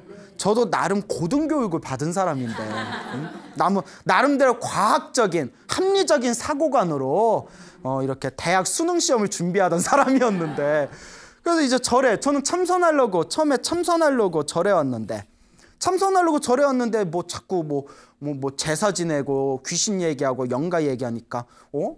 절이, 절이 왜 있다구지? 나 이렇게. 그 이해가 안 됐어요, 처음에. 왜, 아니, 왜 참선은 하고 귀신 얘기만 하지? 그 처음엔 저도 잘 이해가 안 되고 믿음이 안 가고 신도들이 이렇게 뭐 돌아가신 분 천도제, 영가천도 지낸다고 하면 아우 내 마음을 내가 깨치는 게 진짜 천도지. 저 요령 뭐 몇 번 흔들어주고 염불해 준다고 뭐 천도가 되나? 그 어렸을 땐 그런 마음이 조금 있었거든요. 근데 제가 이렇게 수행해 보고 공부해 보고 제가 출간 지 20년 가까이 되거든요. 이제 20년 됐네요. 20년 동안 여러, 여러 가지 일들에 대해서 견문이 넓어지다 보니까 무시할 수 있다 없다. 아 절대 무시할 수 없습니다. 그 지장경이라는 경에 보면 귀신 얘기도 나오고 조상 얘기도 나오고 그 천도해주는 영가들 천도해주는 이야기가 지장경에 나오거든요. 아 그게 다 거짓말이 아니더라고요. 처음에는 저도 잘 믿음이 안 갔지만 제가 직접 기도해보고 수행해보고 여러 가지 일들을 겪다 보니까 무시할 수 있다 없다. 예, 분명한 어, 법칙이 있다. 부처님께서 괜히 말씀하신 게 아니다 라는 그런 확신이 서게 되었습니다. 그 우리나라 그 도심 포교에 큰 획을 그으신 큰 스님 중에 어, 광덕 스님이란 분이 계세요. 들어보셨나요? 와, 음, 문제가 심각하군. 굉장히 유명하신 스님이세요. 지금 이제 뭐 세상을 떠나신 지 오래되셨지만 어 저기 우리 저 송파에 가면 그 불광사라는 사찰이 있거든요. 그 불광사라는 사찰을 창건하시고 우리나라 도심포교에 큰 획을 그으신 광덕스님이라고 계십니다. 근데 이 광덕스님 법문집에 보면 재미난 내용이 나오는데요. 광덕스님도 이 조상, 조상에 대한 천도, 영가천도, 뭐 49제, 제사 같은 걸 굉장히 중요하게 여기세요. 그래서 이 광덕스님 법어집에 보면 이런 내용이 나옵니다. 광덕스님께서도 처음에 처음에는 그런 거에 대해서 별로 관심이 없었대요. 그 영간이 귀신이니 천도제니 이런 거에 관심이 없었는데 언제부터 그 영가 천도라는 거에 대해서 확실한 믿음을 갖게 되셨냐면 당신이 직접 실제로 이런 경험을 하셨대요. 당신이 이제 막 절에 들어가셨을 때 절에 들어가셨을 때 그 부산 범어사 아시죠? 네. 범어사에 그 제사를 지내면 그 제사의 기구를 제사 도구를 관리하는 그런 역할을 하셨답니다. 그 제사 도구 뭐 병풍 갖다 놓고 제기 갖다 놓고 또 이렇게 상 치우고 이런 걸 이제 맡으셨는데 처음 절에 가셨을 때 근데 어느 날 그 부산에 동네 여고라고 있대요. 동네 여고. 예, 있 아세요? 예, 그 동네 여고. 동네 여고 여고생이 갑자기 세상을 떠났대요. 세, 세상을 떠나서 그 범어사에서 뭐 49제를 지냈나 봅니다. 그래서 49제 지내니까 이제 광덕 스님이 이제 그 허들레이를 맡으셨는데 보통 우리가 이제 제를 지낼 때 이렇게 병풍을 항상 이렇게 쳐놓거든요. 근데 그 옛날에는 그 제사 지내는 사람들이 굉장히 많다 보니까 범어사에 제사가 계속 들어왔대요. 그러다 보니까 제사 지낼 때 병풍을 쳐야 되는데 병풍이 모자르더래요. 그래가지고 할 수 없이 49제면 49일 동안 위패를 사진하고 위패를 계속 49일 동안 그 법당 한 구석에 영가단이라고 해서 영단을 모셔놓는 거거든요. 49일 동안 동네 여고 여학생 위패를 모셔놓고 그 병풍이 부족할 때마다 병풍을 가져다 썼대요. 예, 거기에 있는 병풍을 갖다서 써놓고 또 제자리에 다시 놓고 그리고 이제 49제가 싹 끝났답니다. 잘 끝났는데 그 여, 동네 여고 여학생 어머니가 이렇게 찾아오셔서 고맙다고 인사를 하시더래요. 꿈에 딸아이가 나타났다고 49제 끝나고 꿈에 딸아이가 나타났는데 자기 좋은 데 간다고 그런 얘기를 꿈에서 인사를 하고 가더래요. 그러면서 그런데 딸아이가 이상한 얘기를 하더라고요. 엄마 자꾸 내 병풍을 가져다 써서 불편했어 라고 얘기를 하더래요 꿈에서. 광덕스님이 소름이 쫙 끼쳐가지고 그걸 누구밖에 몰라요. 자기밖에 모르잖아요. 자기가 그거 관리하는데. 그 다른데 제사 있으면 그, 그 병풍 좀 갖다 어? 어, 빌려 쓰고 하는 걸 자기뿐이 모르죠. 설마 엄마가 그실 때 CCTV 설치해놓고 어디 보자. 어 봐라. 병풍 쓴다 병풍 쓴다 이러겠어요? 광덕스님이 그때 소름이 쫙 끼쳐서 그 여학생이 그러더래 꿈에서 엄마한테 자꾸 내 병풍 가져다 쓰더라고 하고 일러 바치더래요. 그때 광덕스님이 야, 이 영적인 세계를 무시할 수 있다 없다. 정말 무시할 수 없구나라는 걸 느끼시고 그 이후로부터 그 영가천도에 대해서 연구를 많이 하셨답니다. 그래서 실제로 제가 광덕 스님을 굉장히 존경하는데 광덕 스님 법오집에 보면 우리가 살아가는데 불자로서 살아가는데 필요한 굉장히 아름다운 교훈이 가득한 이야기도 많지만 그 이야기들 보다 보면 그 영가 귀신 이야기도 많이 나와요. 제사의 중요성이라든가 조상 천도의 중요성에 대해서. 그러니까 이런 것들을 보면 야 진짜 무시할 수 없구나라는 것을 다시 한번 우리가 느끼게 됩니다. 그러니까 여러분들도 어 이제 조상님들 혹시 재 지낼 일이 있으면 이번 추석 명절 때도 많이 힘드셨죠. 그 이런 얘기가 있어요. 우리가 육아, 유교 경전을 보면 제사는 살아있는 사람을 위해서 지낸다라는 구절이 있대요. 그러니까 죽은 사람을 위해서 지내는 게 아니라 조상님들 제사 지낸다는 그 상징으로 수많은 살아있는 가족들이 모여서 서로가 우애를 나누고 가정의 평화를 기리는 시간이라는 거예요. 그런데 가장 이혼율이 높을 때가 명절 때 전후로 해서 이혼율이 높아진대요. 그 살아있는 사람을 위해서 지내는 가정의 평화를 위해서 지내는 게 원래 제사의 의미였는데 지금은 가정 파괴의 주범이 되고 있는 게 바로 제사입니다.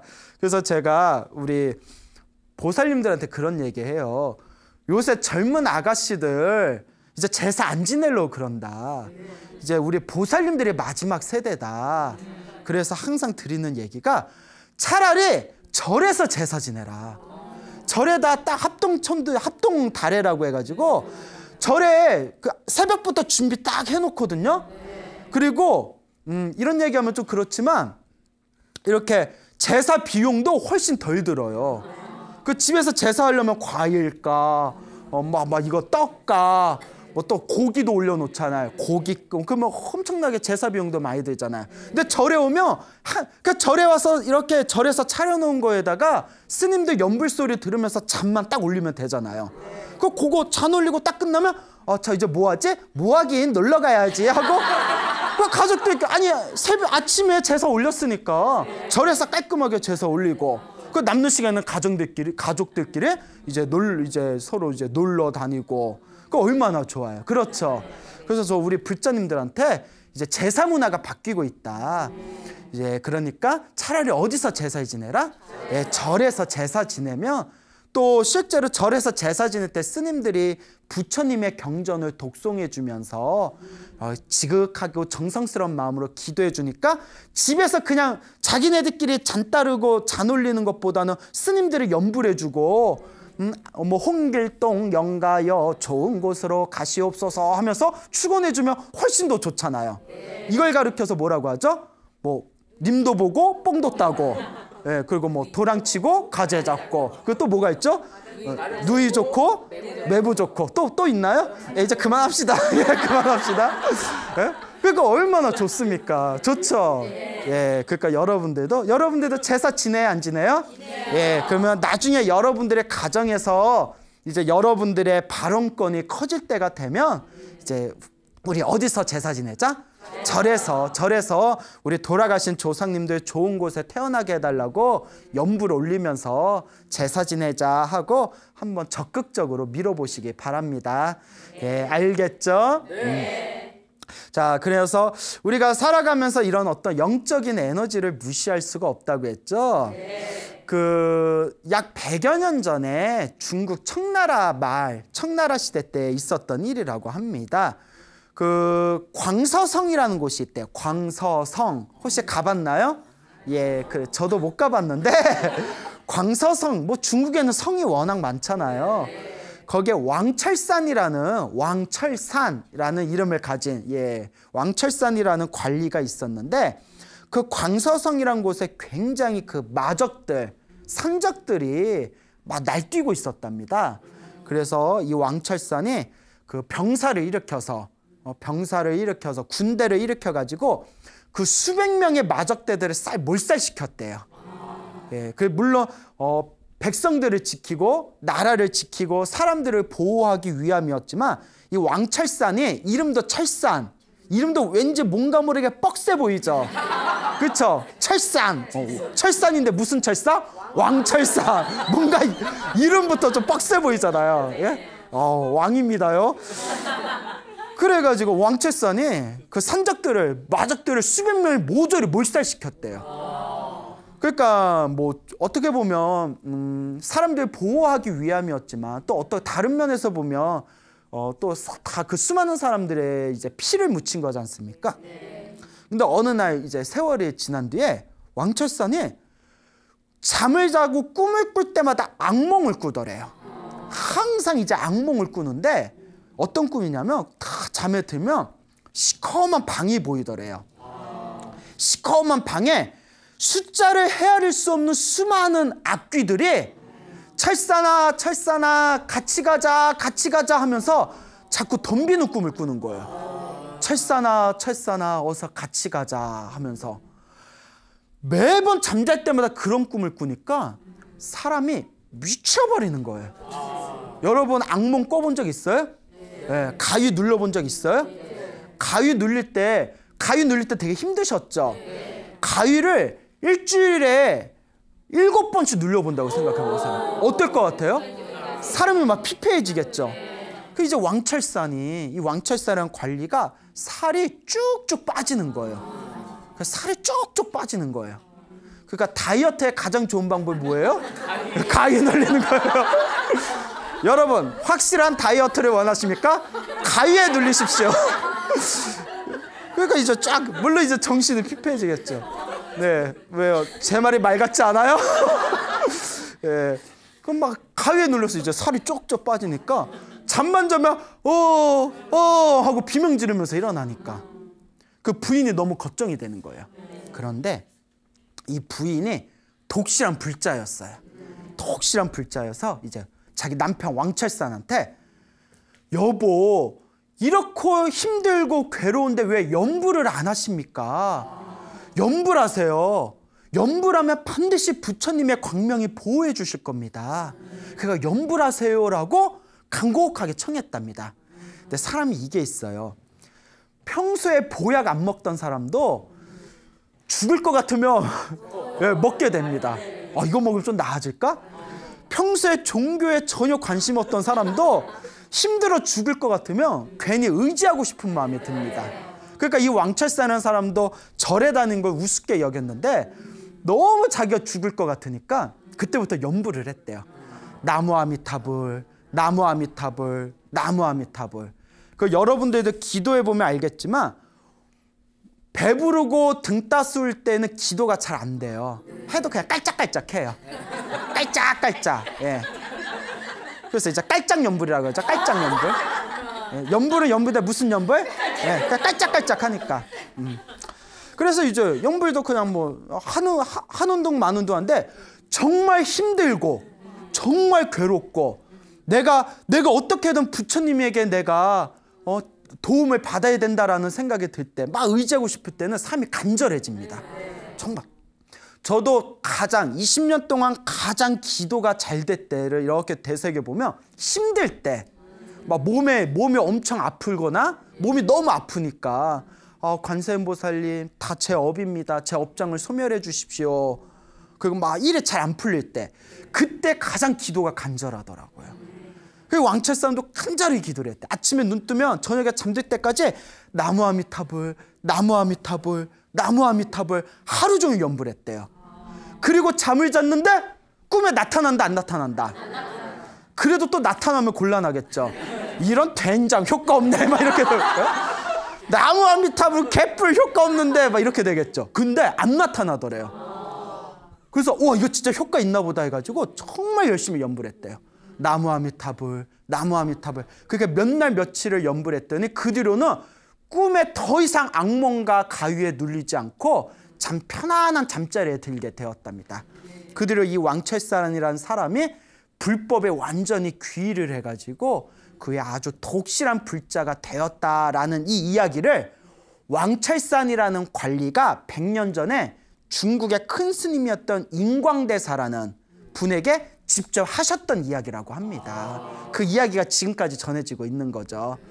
근데 이걸 저는 100% 믿을 수밖에 없는 게 제 주변에도 꿈자리가 뒤숭숭하거나 뭔가 가위에 잘 눌리는 사람들한테 제가 연불하거나 기도하라고 간곡하게 얘기해서 기도 열심히 하신 분들은 거의 다 효과 봤어요. 저랑 친하게 지내는 그 청년의 버부가 있는데 그 청년의 버부도 음, 굉장히 저를 만나기 전에 직접 그런 얘기를 해요. 광우 스님 만나서 기도에 대해서 법문 듣고 기도하기 전에 항상 가위에 잘 눌렸대요. 항상 꿈을 꾸면 악몽을 꾸고 가위에 잘 눌리고.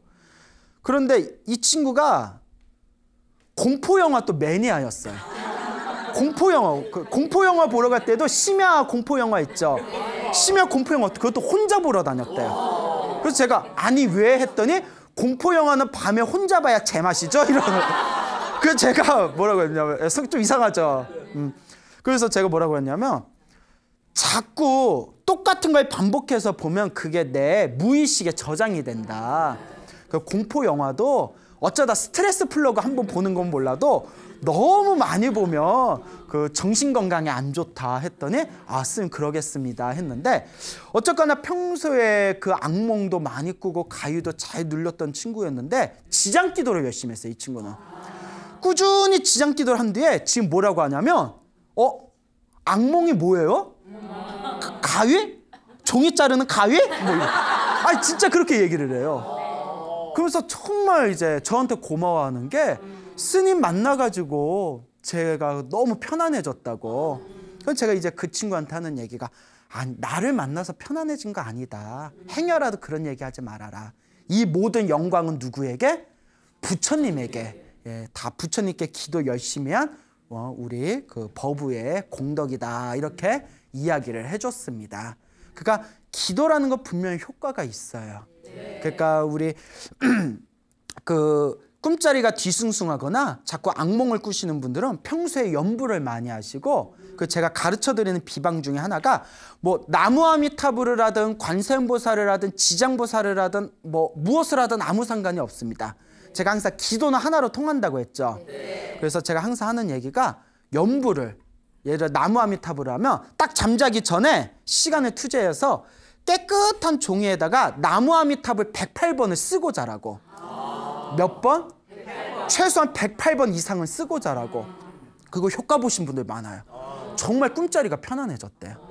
그러니까 꿈자리가 안 좋다고 여겨지는 분들은 걱정하거나 노여하거나 서러워하거나 슬퍼하지 말고 잠자기 전에 누구를 예, 나무 아미탑을 뭐 관세음보살도 좋고 지장보살도 좋습니다. 불보살님을 잠자기 전에 108 깨끗한 종이에다 108번을 이렇게 쓰고 난 뒤에 잠 꾸준하게 그 방법을 사용하시면 나중에 분명히 여러분들이 아 정말 효과가 있구나라는 걸 명확하게 아시게 될 겁니다.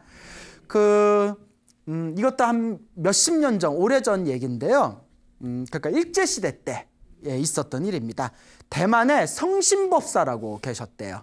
본명이 성심이라는 법사 스님이 계셨는데 이 성심 법사, 이 성심 스님에게 형이 있었답니다. 근데 이 형이 그 대만에 살고 있던 형이 저기 중국의 광동성으로 넘어가서 광동성에서 그 일본 군인들이 철도 공사를 하고 있었대요. 그 철도 공사에 음 이제 그 인부로 가가지고 거기서 공사하는 일을 맡고 있었는데 그 형이 좀 그 동생인 성신 스님은 굉장히 불심이 깊고 수행을 열심히 하는 스님이었는데 그 형은 동생인 성신 스님하고 성격이 완전히 반대였나 봐요. 성격이 아주 모질고 못돼 가지고 이 성신 스님의 형이었던 분이 우연히 어느 여자하고 다툼이 생겨서 여자를 참혹하게 살해를 했답니다. 참혹하게 살해를 했대요. 그런데 어, 법에 그 당시에는 굉장히 무법지대였잖아요. 어떤 법의 그 처벌을 받지 않고 그냥 무사히 풀려나가지고 그렇게 살아가고 있었나 봐요. 근데 몇 년이 지난 뒤에 문제가 생긴 거예요. 이 형이 비록 법의 처벌은 받지 않았지만 자기가 죽였던 여자가 자꾸 귀신의 모습으로 나타나가지고 시도 때도 없이 귀신의 몸으로 막 피를 철철 흐르면서 귀신의 모습으로 나타나서 자꾸 형을 괴롭히는 거예요. 그이 형이 막 이제 경기를 일으키는 거겠죠? 뭐, 오, 오, 뭐 이러면서 밤에도 나타나고, 낮에도 나타나고, 세수하고 거울 봤는데, 안녕, 막 이러면서 에? 나타나고, 그렇잖아요. 이제 화장실에서 이렇게 화장실에서 일 보고 나서 문 열고 나오는데 갑자기 surprise 막 이러면서 그럼 뭐 얼마나 막 경기를 일으키잖아요. 그래서 몸이 완전히 쇠약해져 가지고 쓰러져 버렸대요. 그래서 이제 죽을려면 기다리고 있는 거예요. 그러다가 이제 형이 사람을 시켜서 동생에게 편지를 보냅니다.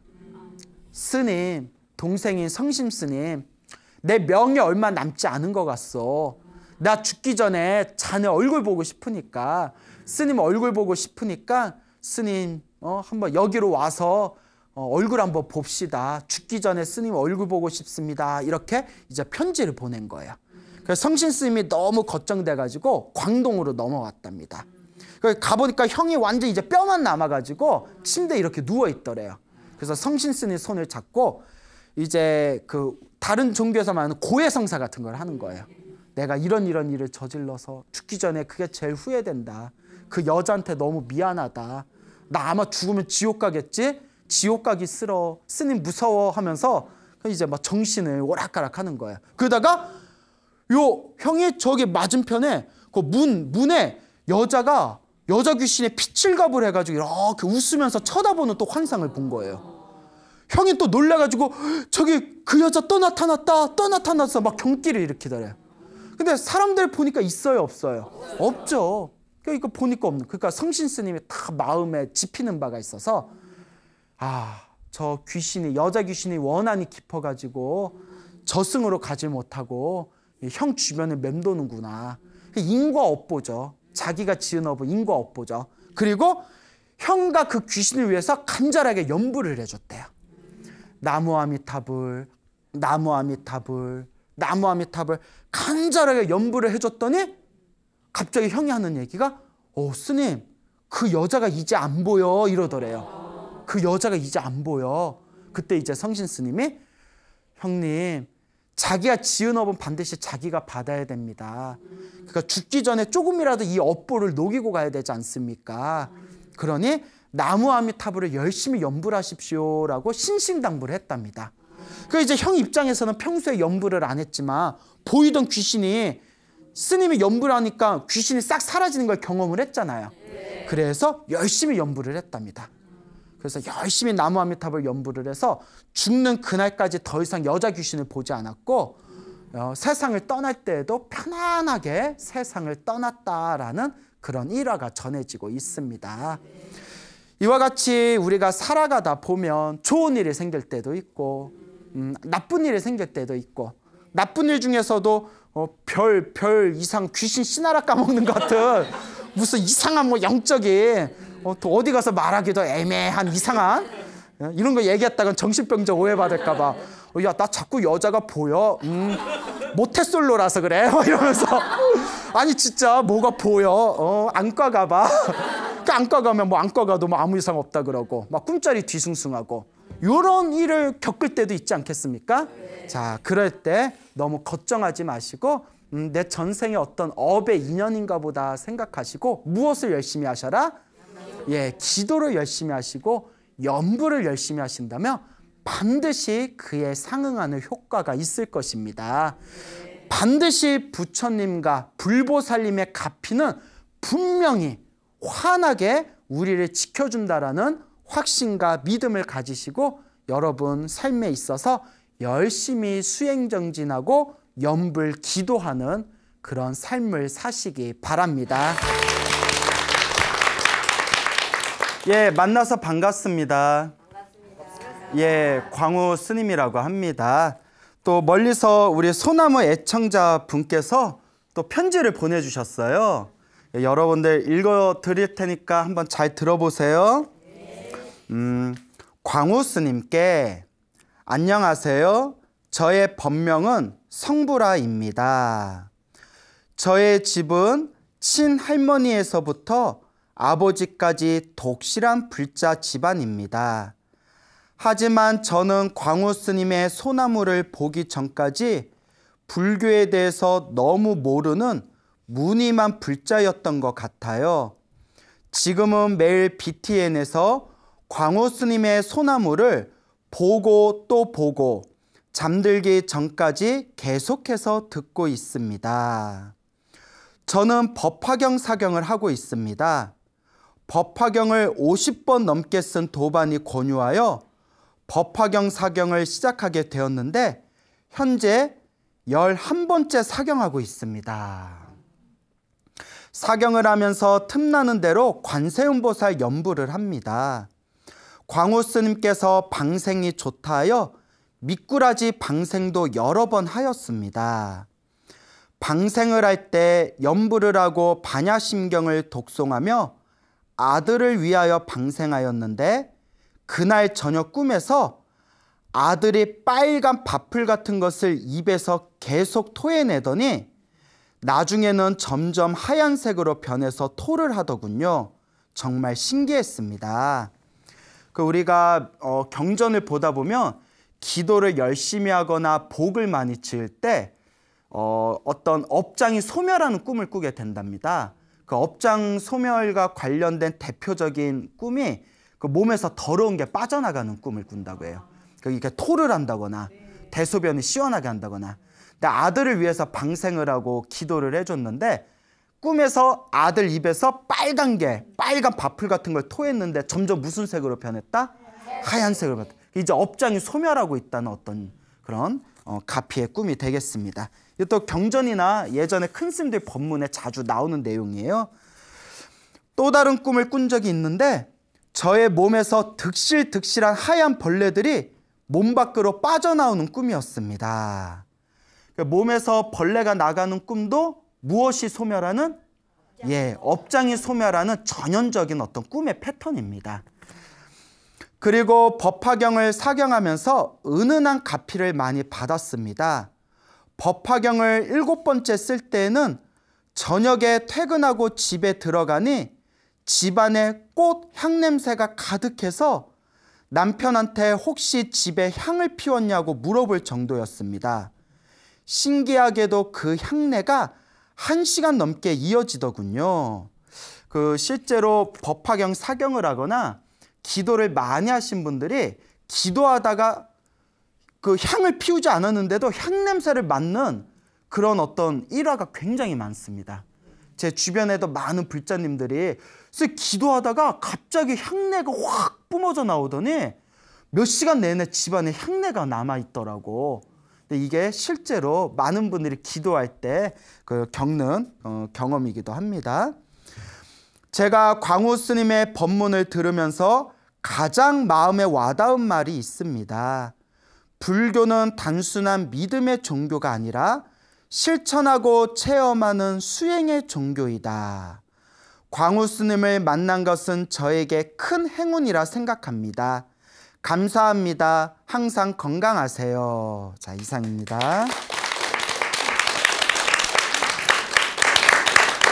자, 이렇게 해서 어, 이게 좋은 편지를 보내주신 우리 성부라 보살님의 이야기를 잠시 우리가 들어보았습니다. 그 실제로 우리 주변에서 보면 많은 불자님들께서 스님, 기도를 시작하면서 꾸준히 사경하고 독경하고 염불하였더니 몸과 마음이 편안해지고 알게 모르게 가정이 편안해지는 것을 느꼈습니다. 라는 분들의 수없는 경험담이 있습니다. 그러니까 우리 소나무를 애청하시는 우리 많은 불자님들께서도 제가 항상 하는 이야기죠. 귀로만 들으면 된다, 안 된다? 안 된다. 귀로 들어간 거는 어떻게 될까요?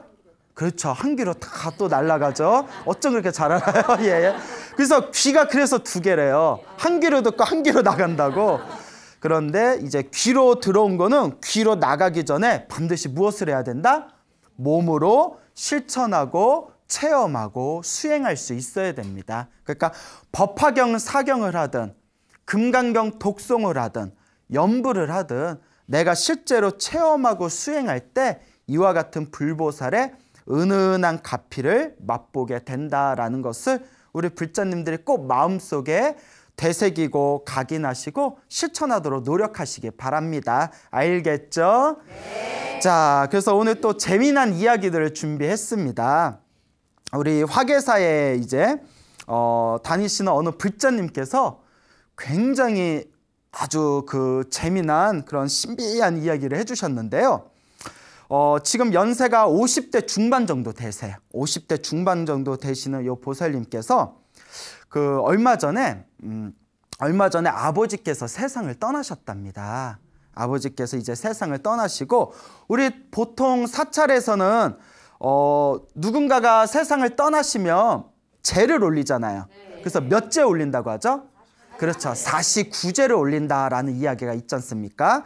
그래서 사람이 죽으면 사람이 죽으면 이제 영가 이 영가가 사람이 죽은 그런 이제 귀신의 상태가 된 이제 이 영가가 어 살아생전에 선업을 많이 지었거나 살아생전에 악업을 많이 지은 사람은 바로 다음 세상에 선업을 많이 지었던 존재는 바로 죽자마자 좋은 곳에 태어나고 악업을 많이 지은 존재는 죽자마자 나쁜 곳에 태어난답니다. 그런데 어설프게 지은 존재도 있잖아요. 서, 선업? 어, 아, 악업? 애매하네. 애매하고 어설픈 그 영가들은 어, 7일 안에 새 몸을 받는 경우도 있고 21일 안에 새 몸을 받는 경우도 있고 그런데 무조건 49일 안에 새 몸을 받는답니다. 49일 안에는 새 몸을 받는다라는 그런 어떤 어, 불교의 가르침이 있거든요. 그래서 우리가 돌아가신 분들이 다음 생에 좋은 몸을 받기를 발언하면서 기도를 올려드리고 공덕을 짓는 기간을 우리가 49제 일주일에 한 번씩 일곱 번의 제를 올리는 49제라는 어떤 불교의 전통적인 그런 제 문화가 생기게 됩니다. 그래서 49제 다 들어보셨죠? 네. 그래서 이와 같은 이제 49제가 있는데요. 그 보살님께서 아버님께서 이제 세상을 떠나시니까 친아버지가 세상을 떠나시니까 49제를 이제 올리게 되었답니다. 49제를 시작하고 얼마 안 돼서 신우이가 있었는데 신우이가 자꾸 몸이 좀 이상하더래요. 어, 몸이 이상해, 몸이 이상해. 몸이 이상할 때는 어딜 가야 되죠? 병원에 가야 됩니다. 어, 몸이 이상해. 사우나 가면 안 돼요. 땀 빼면 낫겠지. 예, 안 됩니다. 뭐 온천 간다고 될 일이 아니에요. 몸이 이상하면 바로 어디부터 가봐라? 병원부터 가봐라. 어, 예전에 저와 친분이 있는 어느 보살님이 계셨는데 그 보살님이 겁이 많았대요. 겁이 많으셔서 그분께서 몸이 좀 이상해도 병원 가는 걸 싫어하시는 거예요. 그러니까 병원 가서 안 좋은 얘기 들을까 봐 막 병원을 막 일부러 안 가고 피하시던 분이 있었어요. 막 되게 아 그래요? 예, 그것도 병이에요. 예. 아프면 병원 가셔야죠. 나중에 몇 년이 지난 뒤에 소식을 들었더니 갑자기 급성 무슨 뭐 백혈병인가 뭔가 뭐 암인가 하여튼 걸려서 세상 갑자기 떠나버리셨대요. 그 진짜 병원에 좀 갔으면 그러니까 큰 병일까봐 병원을 피하고 피하고 피했는데 정말 뭐 때문에 가셨다? 큰 병에 걸리셔가지고 얼마 못 사시고 젊은 나이에 세상을 떠난 분이 계세요. 그러니까 몸이 이상하면 병원부터 가보세요. 알겠죠? 네. 자, 그래서 신우이가 몸이 좀 이상하다, 이상하다 해가지고 병원에 갔대요. 딱 이름만 대면 알만한 우리나라에서 가장 유명한 대형 병원이에요. 어딘지 말씀을 드릴까요? 안 할게요. 왜냐하면 예, 예. 좀 이따 왜 이야기를 안 하는지 좀 이따 나오는데 대형 병원에 가서 딱 진단을 받았는데 췌장암이더래요. 췌장암. 예. 그 유명한 스티브 잡스도 뭐, 뭐 때문에 그랬죠? 췌장암 때 갔죠. 췌장암이 되게 힘들대요. 수술하기가 굉장히 애매한데래요. 그래서 굉장히 그 어, 가장 사망률이 높은 게 췌장암이라고 하는데 집안이 난리가 났잖아요. 어떻게 하냐, 이것도 어떻게 하면 좋냐. 그러니까 이제 치료를 받기로 합니다. 치료를 받으면서 그 보살님이랑 그 어, 아버지 49제를 올리는 따님이 되는 보살님이랑 그 보살님 신우이랑 췌장암에 걸린 신우이랑 기도를 또 열심히 올렸대요. 49제 동안이니까 아버지가 좋은 곳에 천도되어지기를 발언하면서 그리고 누가 병이 건강, 병이 낫고 건강해지기를 신우이가 병이 빨리 낫고 건강해지기를 간절하게 간절하게 신의하고 기도를 올렸답니다. 그러니까 기도를 아주 기도를 열심히 했대요. 열심히 했는데 아버지 이제 화계사에서 아버지 49제를 마쳤는데 아버지 49제가 끝나고 나서 그날 신우이가 꿈을 꿨답니다. 꿈을 꿨대요. 꿈을 꿨는데 저희 이제 화계사에 가면 이렇게 모든 사찰에 가면 이렇게 새벽이나 저녁에 이렇게 점심 때 종, 범종 치잖아요. 네. 범종 친 것을 이제 범종각이라고 부르는데 큰 이렇게 화계사 범종각이 이렇게 보이더래요. 화계사의 범종각이 이렇게 보이는데 거기에 이렇게 스님이 이걸 이걸 이제 요 빨간 걸 가사라고 하고요. 요 요 요 허연 요 옷을 장삼이라고 하거든요. 그래서 가사 장삼이라 부르는데 요 가사 장삼을 입으신 스님이 화계사 범종각에 이렇게 서 계시더래요. 그러더니 자기를 이렇게 부르시더래요.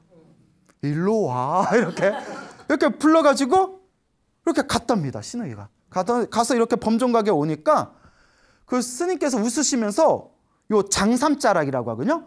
요 잠상자락으로 화계사의 그 범종을 이렇게 닦으시더래요. 그렇게 아주 반질반질하게 닦으시더래요 웃으시면서. 범종을. 무엇을? 예, 그 중요해요. 범종을 싹 닦으면서 잠에서 닦겠답니다. 잠에서 닦겠대요. 잠에서 깨고 나서 며칠 후에 이제 치료를 받는 과정에서 다른 또 유명한 병원에 갔답니다.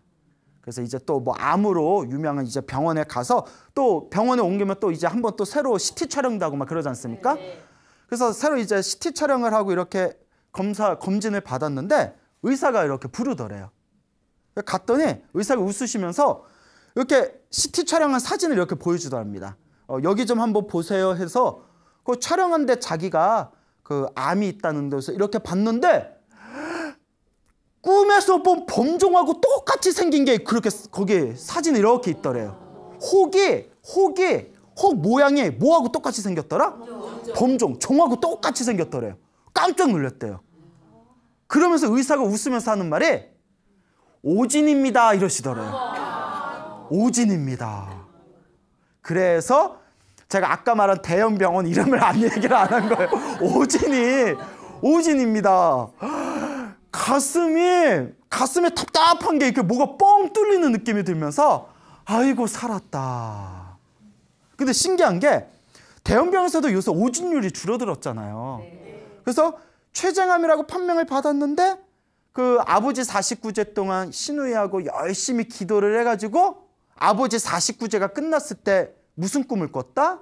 예, 그 스님이 요 장삼자락으로 범종을 싹 닦아주는 꿈을 꿨는데 며칠 후에 병원에 가서 새로 그 촬영을 했더니 그 홍 모양이 꼭 뭐하고 똑같더라? 범종 모양은 똑같더라. 그러더니 의사가 웃으면서 뭐라고 하더라? 오진입니다. 아무리 봐도 이거는 부처님 갚인 것 같다고. 아무리 봐도 이건 불보살 갚인 것 같다고. 그래서 지금은 어, 이렇게 건강을 잘 챙기면서 어, 잘 살고 계시다고 합니다. 근데 여러분, 음, 또 이게 중요해요. 어, 실제로 소나무의 법문에서도 많이 말씀을 드렸고 제 주변에 있는 불자님들도 경험을 했지만 병원에서 치료하기 힘든 어떤 질병 같은 게 있을 때 정말 목숨 걸고 기도 열심히 해서 병이 확 낫는 경우가 있어요. 어떤 분은 뭐 대장암 말기였는데 하루에 3,000배씩 100일을 했더니 뭐 암이 나았다거나 실제로 이런, 이런 얘기가 있거든요. 근데 중요한 게 있어요. 그렇다고 기도해서 다 낫는다 안 낫는다. 예, 그건 아니에요. 어떤 분도 몸에 굉장히 그 몸이 안 좋아서 기도를 열심히 했는데도 생각한 것만큼 효과를 못 보신 경우도 있거든요. 그러면 왜 누구는 병이 낫고 누구는 기도를 열심히 했는데도 병이 안 낫는가? 여러 가지가 이유가 있겠죠. 그 중에 하나가 내가 전생에 지어놓은 복이 많으면 기도를 효과를 어떻게 본다? 좀 빨리 보고 내가 몸이 너무너무 안 좋아서 기도를 열심히 했는데도 내가 원하는 만큼 효과를 못 본 것은 그만큼 전생에 지은 무엇이 두꺼워서 그렇다? 그렇죠. 전생에 지어놓은 업보와 업장이 두꺼워서 기도를 그만큼 더 해야 되는 거예요. 그래서 우리 불자들은 우리 불자분들에게 꼭 드리고 싶은 얘기가 내가 어떤 병이 있을 때 일단은 음, 누구의 지시를 따르는 게 가장 좋을까요? 그렇죠. 의사의 이제 현대 의학의 도움을 받아서 지시를 잘 따르되 큰 병일수록 잘 낫지 않는 병일수록 전생에 내가 지은 업보일 확률이 커요. 그래서 우리 불교에서는 그래서 전생에 내, 내가 지은 업보고 내가 지은 빚이다라는 마음으로 꾸준하게 잘 기도로서 업장 소멸의 기도로서 잘 닦아야 된다라고 말하고 있지 않습니까? 근데 기도를 열심히 했는데도 병이 낫지 않는 것 같을 때에는 그냥 병이 낫거나 안 낫거나 그런 거에도 집착하지 말고 내가 과거 전생에서부터 지었던 나의 빚을 나의 업보를 나의 업장을 뭐하고 있는 과정이다? 예, 닦고 있는 과정이다. 소멸하고 있는 과정이다라고 마음을 내려놓을 수도 있어야 됩니다. 오히려 기도하면서 왜 난 안 낫지? 왜 난 안 낫지? 뭐야 다 개뻥이야? 뭐 이래버리면 오히려 마음에 막 집착과 탐욕심만 많아지는 거예요. 효과가 있든 없든 다 누가 업, 누구 업보다 내 업이다. 지금 당장 효과가 없는 것 같아도 내가 지금 기도하고 내가 지금 수행하고 내가 지금 복을 쌓고 있는 것 자체가 나의 무엇을 닦고 있는 과정이다. 네, 내 업장을 소멸하고 닦고 있는 과정이다라고 마음을 끊임없이 내려놓고 내려놓고 내려놓을 수가 있어야 됩니다. 자, 그래서 항상 내, 나, 나에게 어떤 질병이 있거나 내가 어떤 안 좋은 상황에 처했거나 내가 힘들고 어려울 때는 반드시 기도하셔야 됩니다. 하지만 당장 기도하면서 지금 이 순간 당장의 효과가 있고 없고에 너무 집착하면 된다 안 된다? 안 된다. 다만 내 업보와 내 업장과 내 빚을 갚는 마음으로 그리고 지금 이 순간 내가 선업공덕을 짓는 마음으로 꾸준히 닦아가야 되는 것이 핵심이다라는 것을 명심하시길 바랍니다. 자, 그래서 또 이, 이와 관련된 또 재미난 이야기가 하나 있습니다. 음, 어느 보살님, 소나무 애청자라는 보살님께서 제보를 해주셨는데 지금 연세가 한 50대 후반 정도 되신 보살님이세요.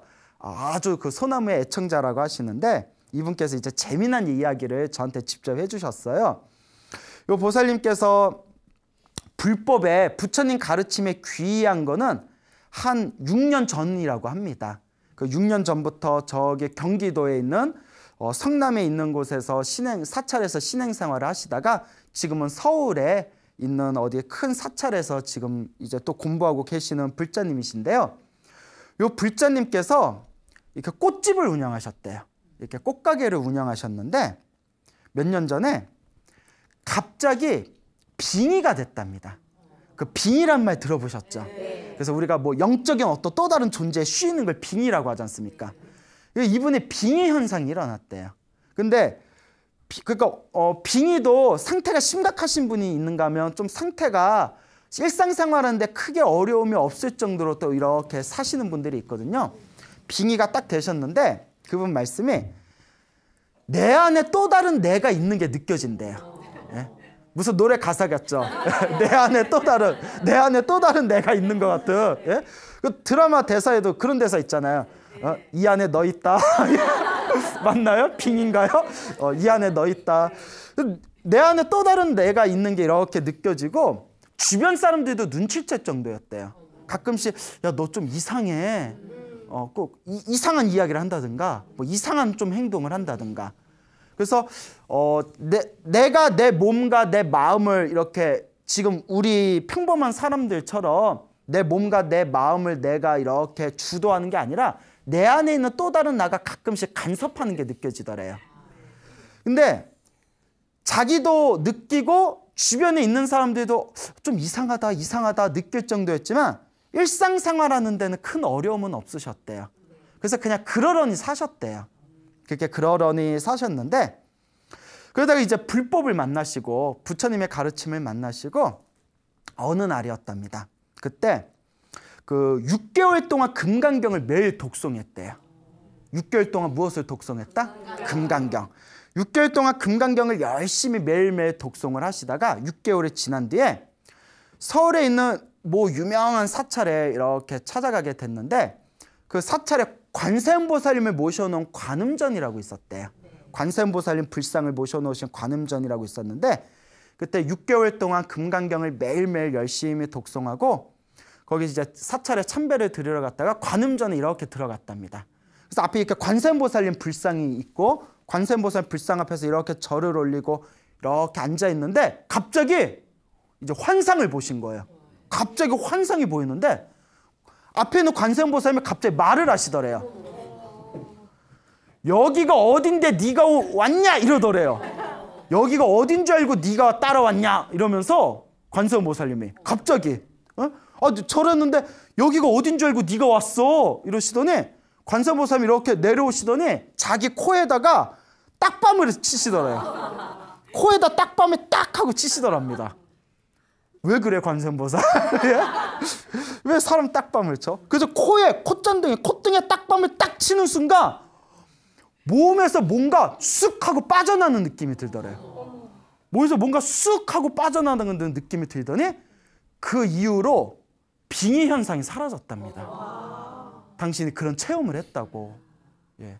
그런데 예전에도 그 무속인들도 그런 얘기를 하고 큰 스님들도 그 비슷한 얘기를 한 적이 들었는데 한 번 뭐가 스쳐간 몸에는 뭐가 또 자꾸 들어올 수가 있대요.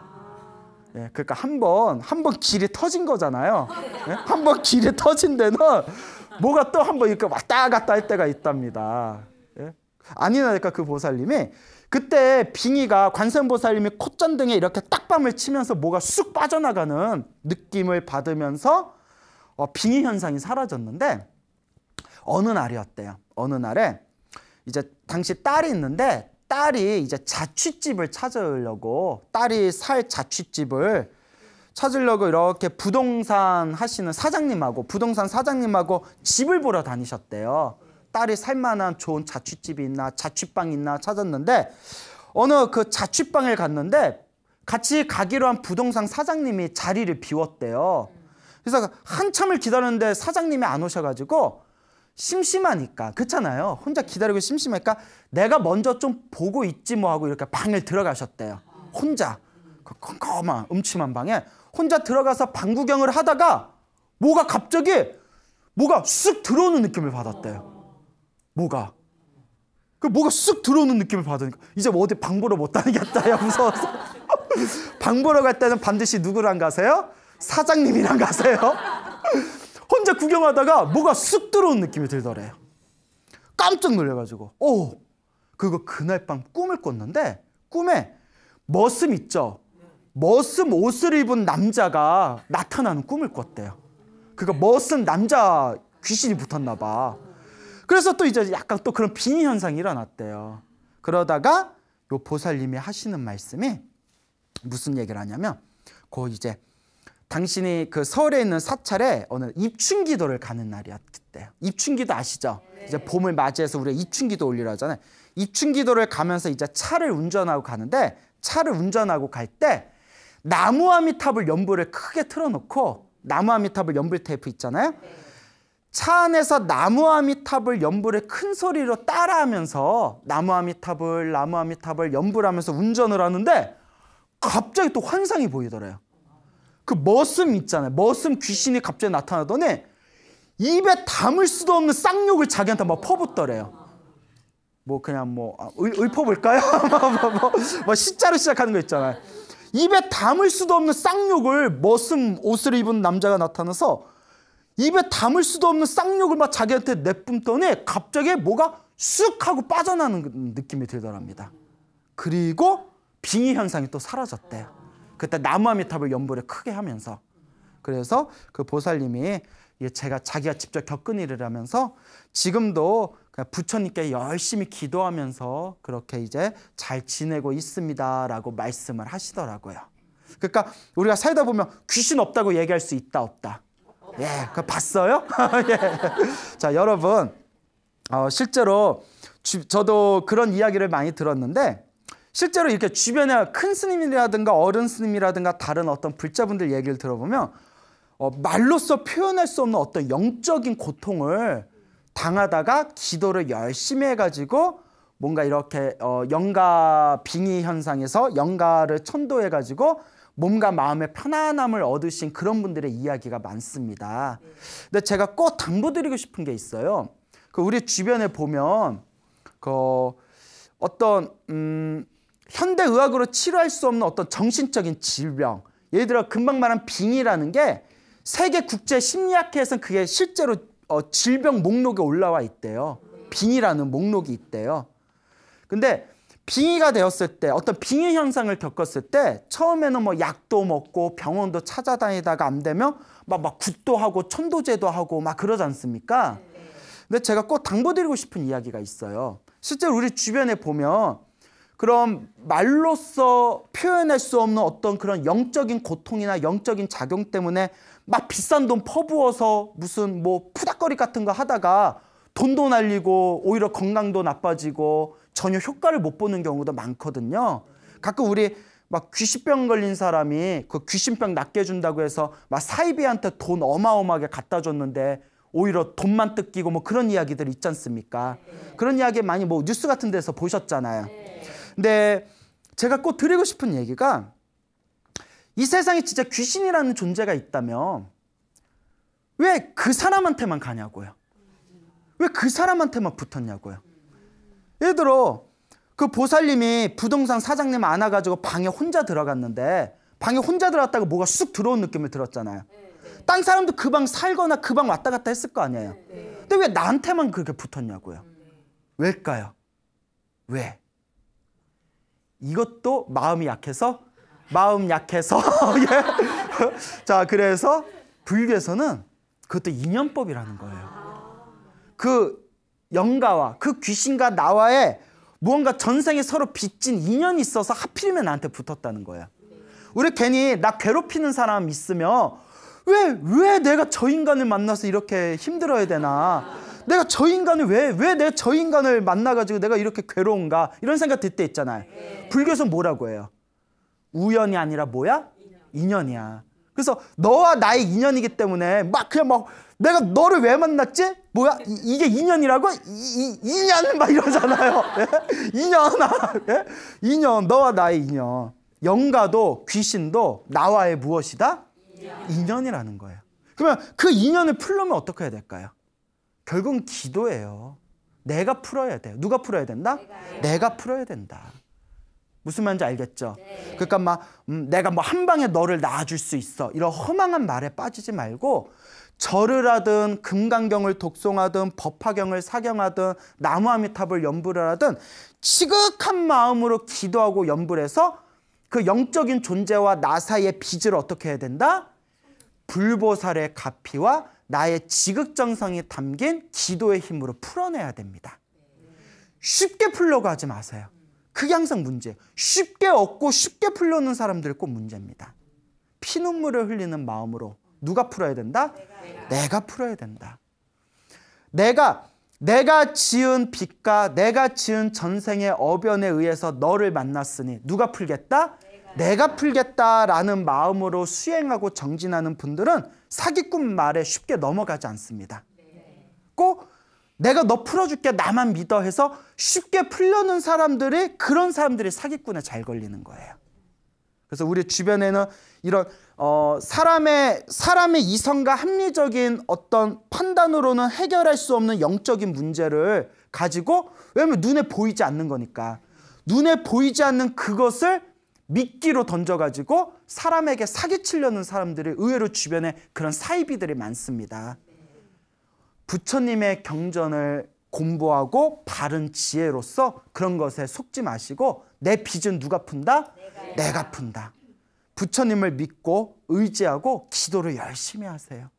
기도의 힘이 연불의 힘이 불보살의 가피가 내가 지극정성으로 기도한 내 업장 소멸의 힘이 나를 진정한 자유의 길로 이끌어 줄 것입니다.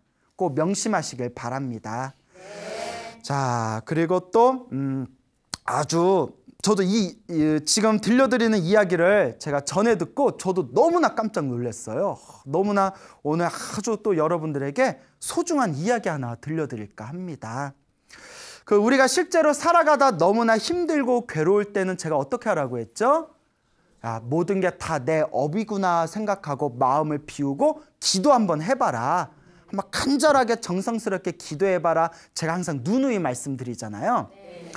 음, 저 미국에 여러분 미국 아세요? 미국? 예, 유식한 말로 아메리카라고 하죠. 예, 저 아메리카에 가면 미국에서 한국 불교를 열심히 포교하고 계시는 수연 스님이란 분이 계세요. 비구니 스님이세요. 수연이라는 비구니 스님이 계시는데 이름도 예쁘죠. 수연. 예, 미국에서 이제 그 포교 활동을 하고 계시는데 이 수연 스님이 연세가 한 70 정도 되신데요. 그 저거는 SNS 친구예요. 예, 뭐 미국에서 왔다 갔다 할 수가 없잖아요.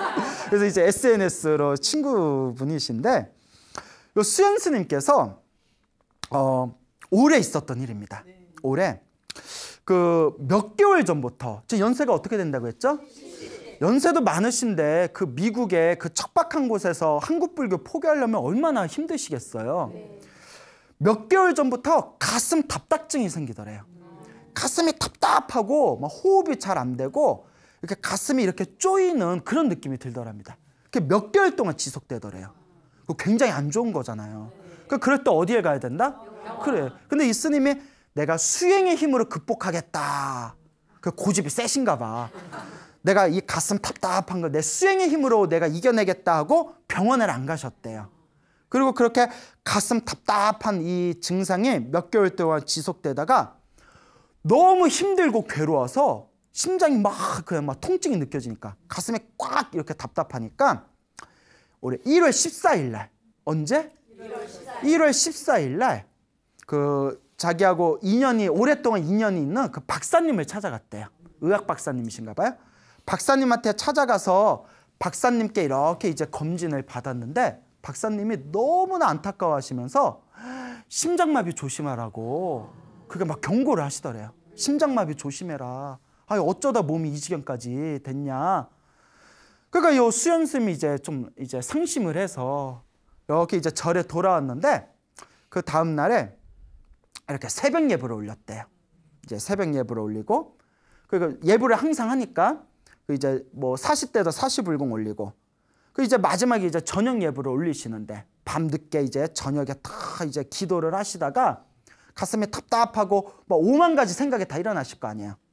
저녁 기도를 탁 맞추시고 나서 옆에다 목탁을 놓고 부처님께 탁 절을 올리면서 이렇게 발언을 했답니다. 천수천한 관세음 보살님, 제가 너무 가슴이 답답하고 괴롭습니다. 제가 아직도 할 일이 많은데, 제가 아직도 해야 할 일이 많은데 너무 괴롭습니다. 제가 어떻게 해야 되겠습니까? 관세음 보살님, 천수천한 관세음 보살님, 제가 어떻게 해야 되겠습니까?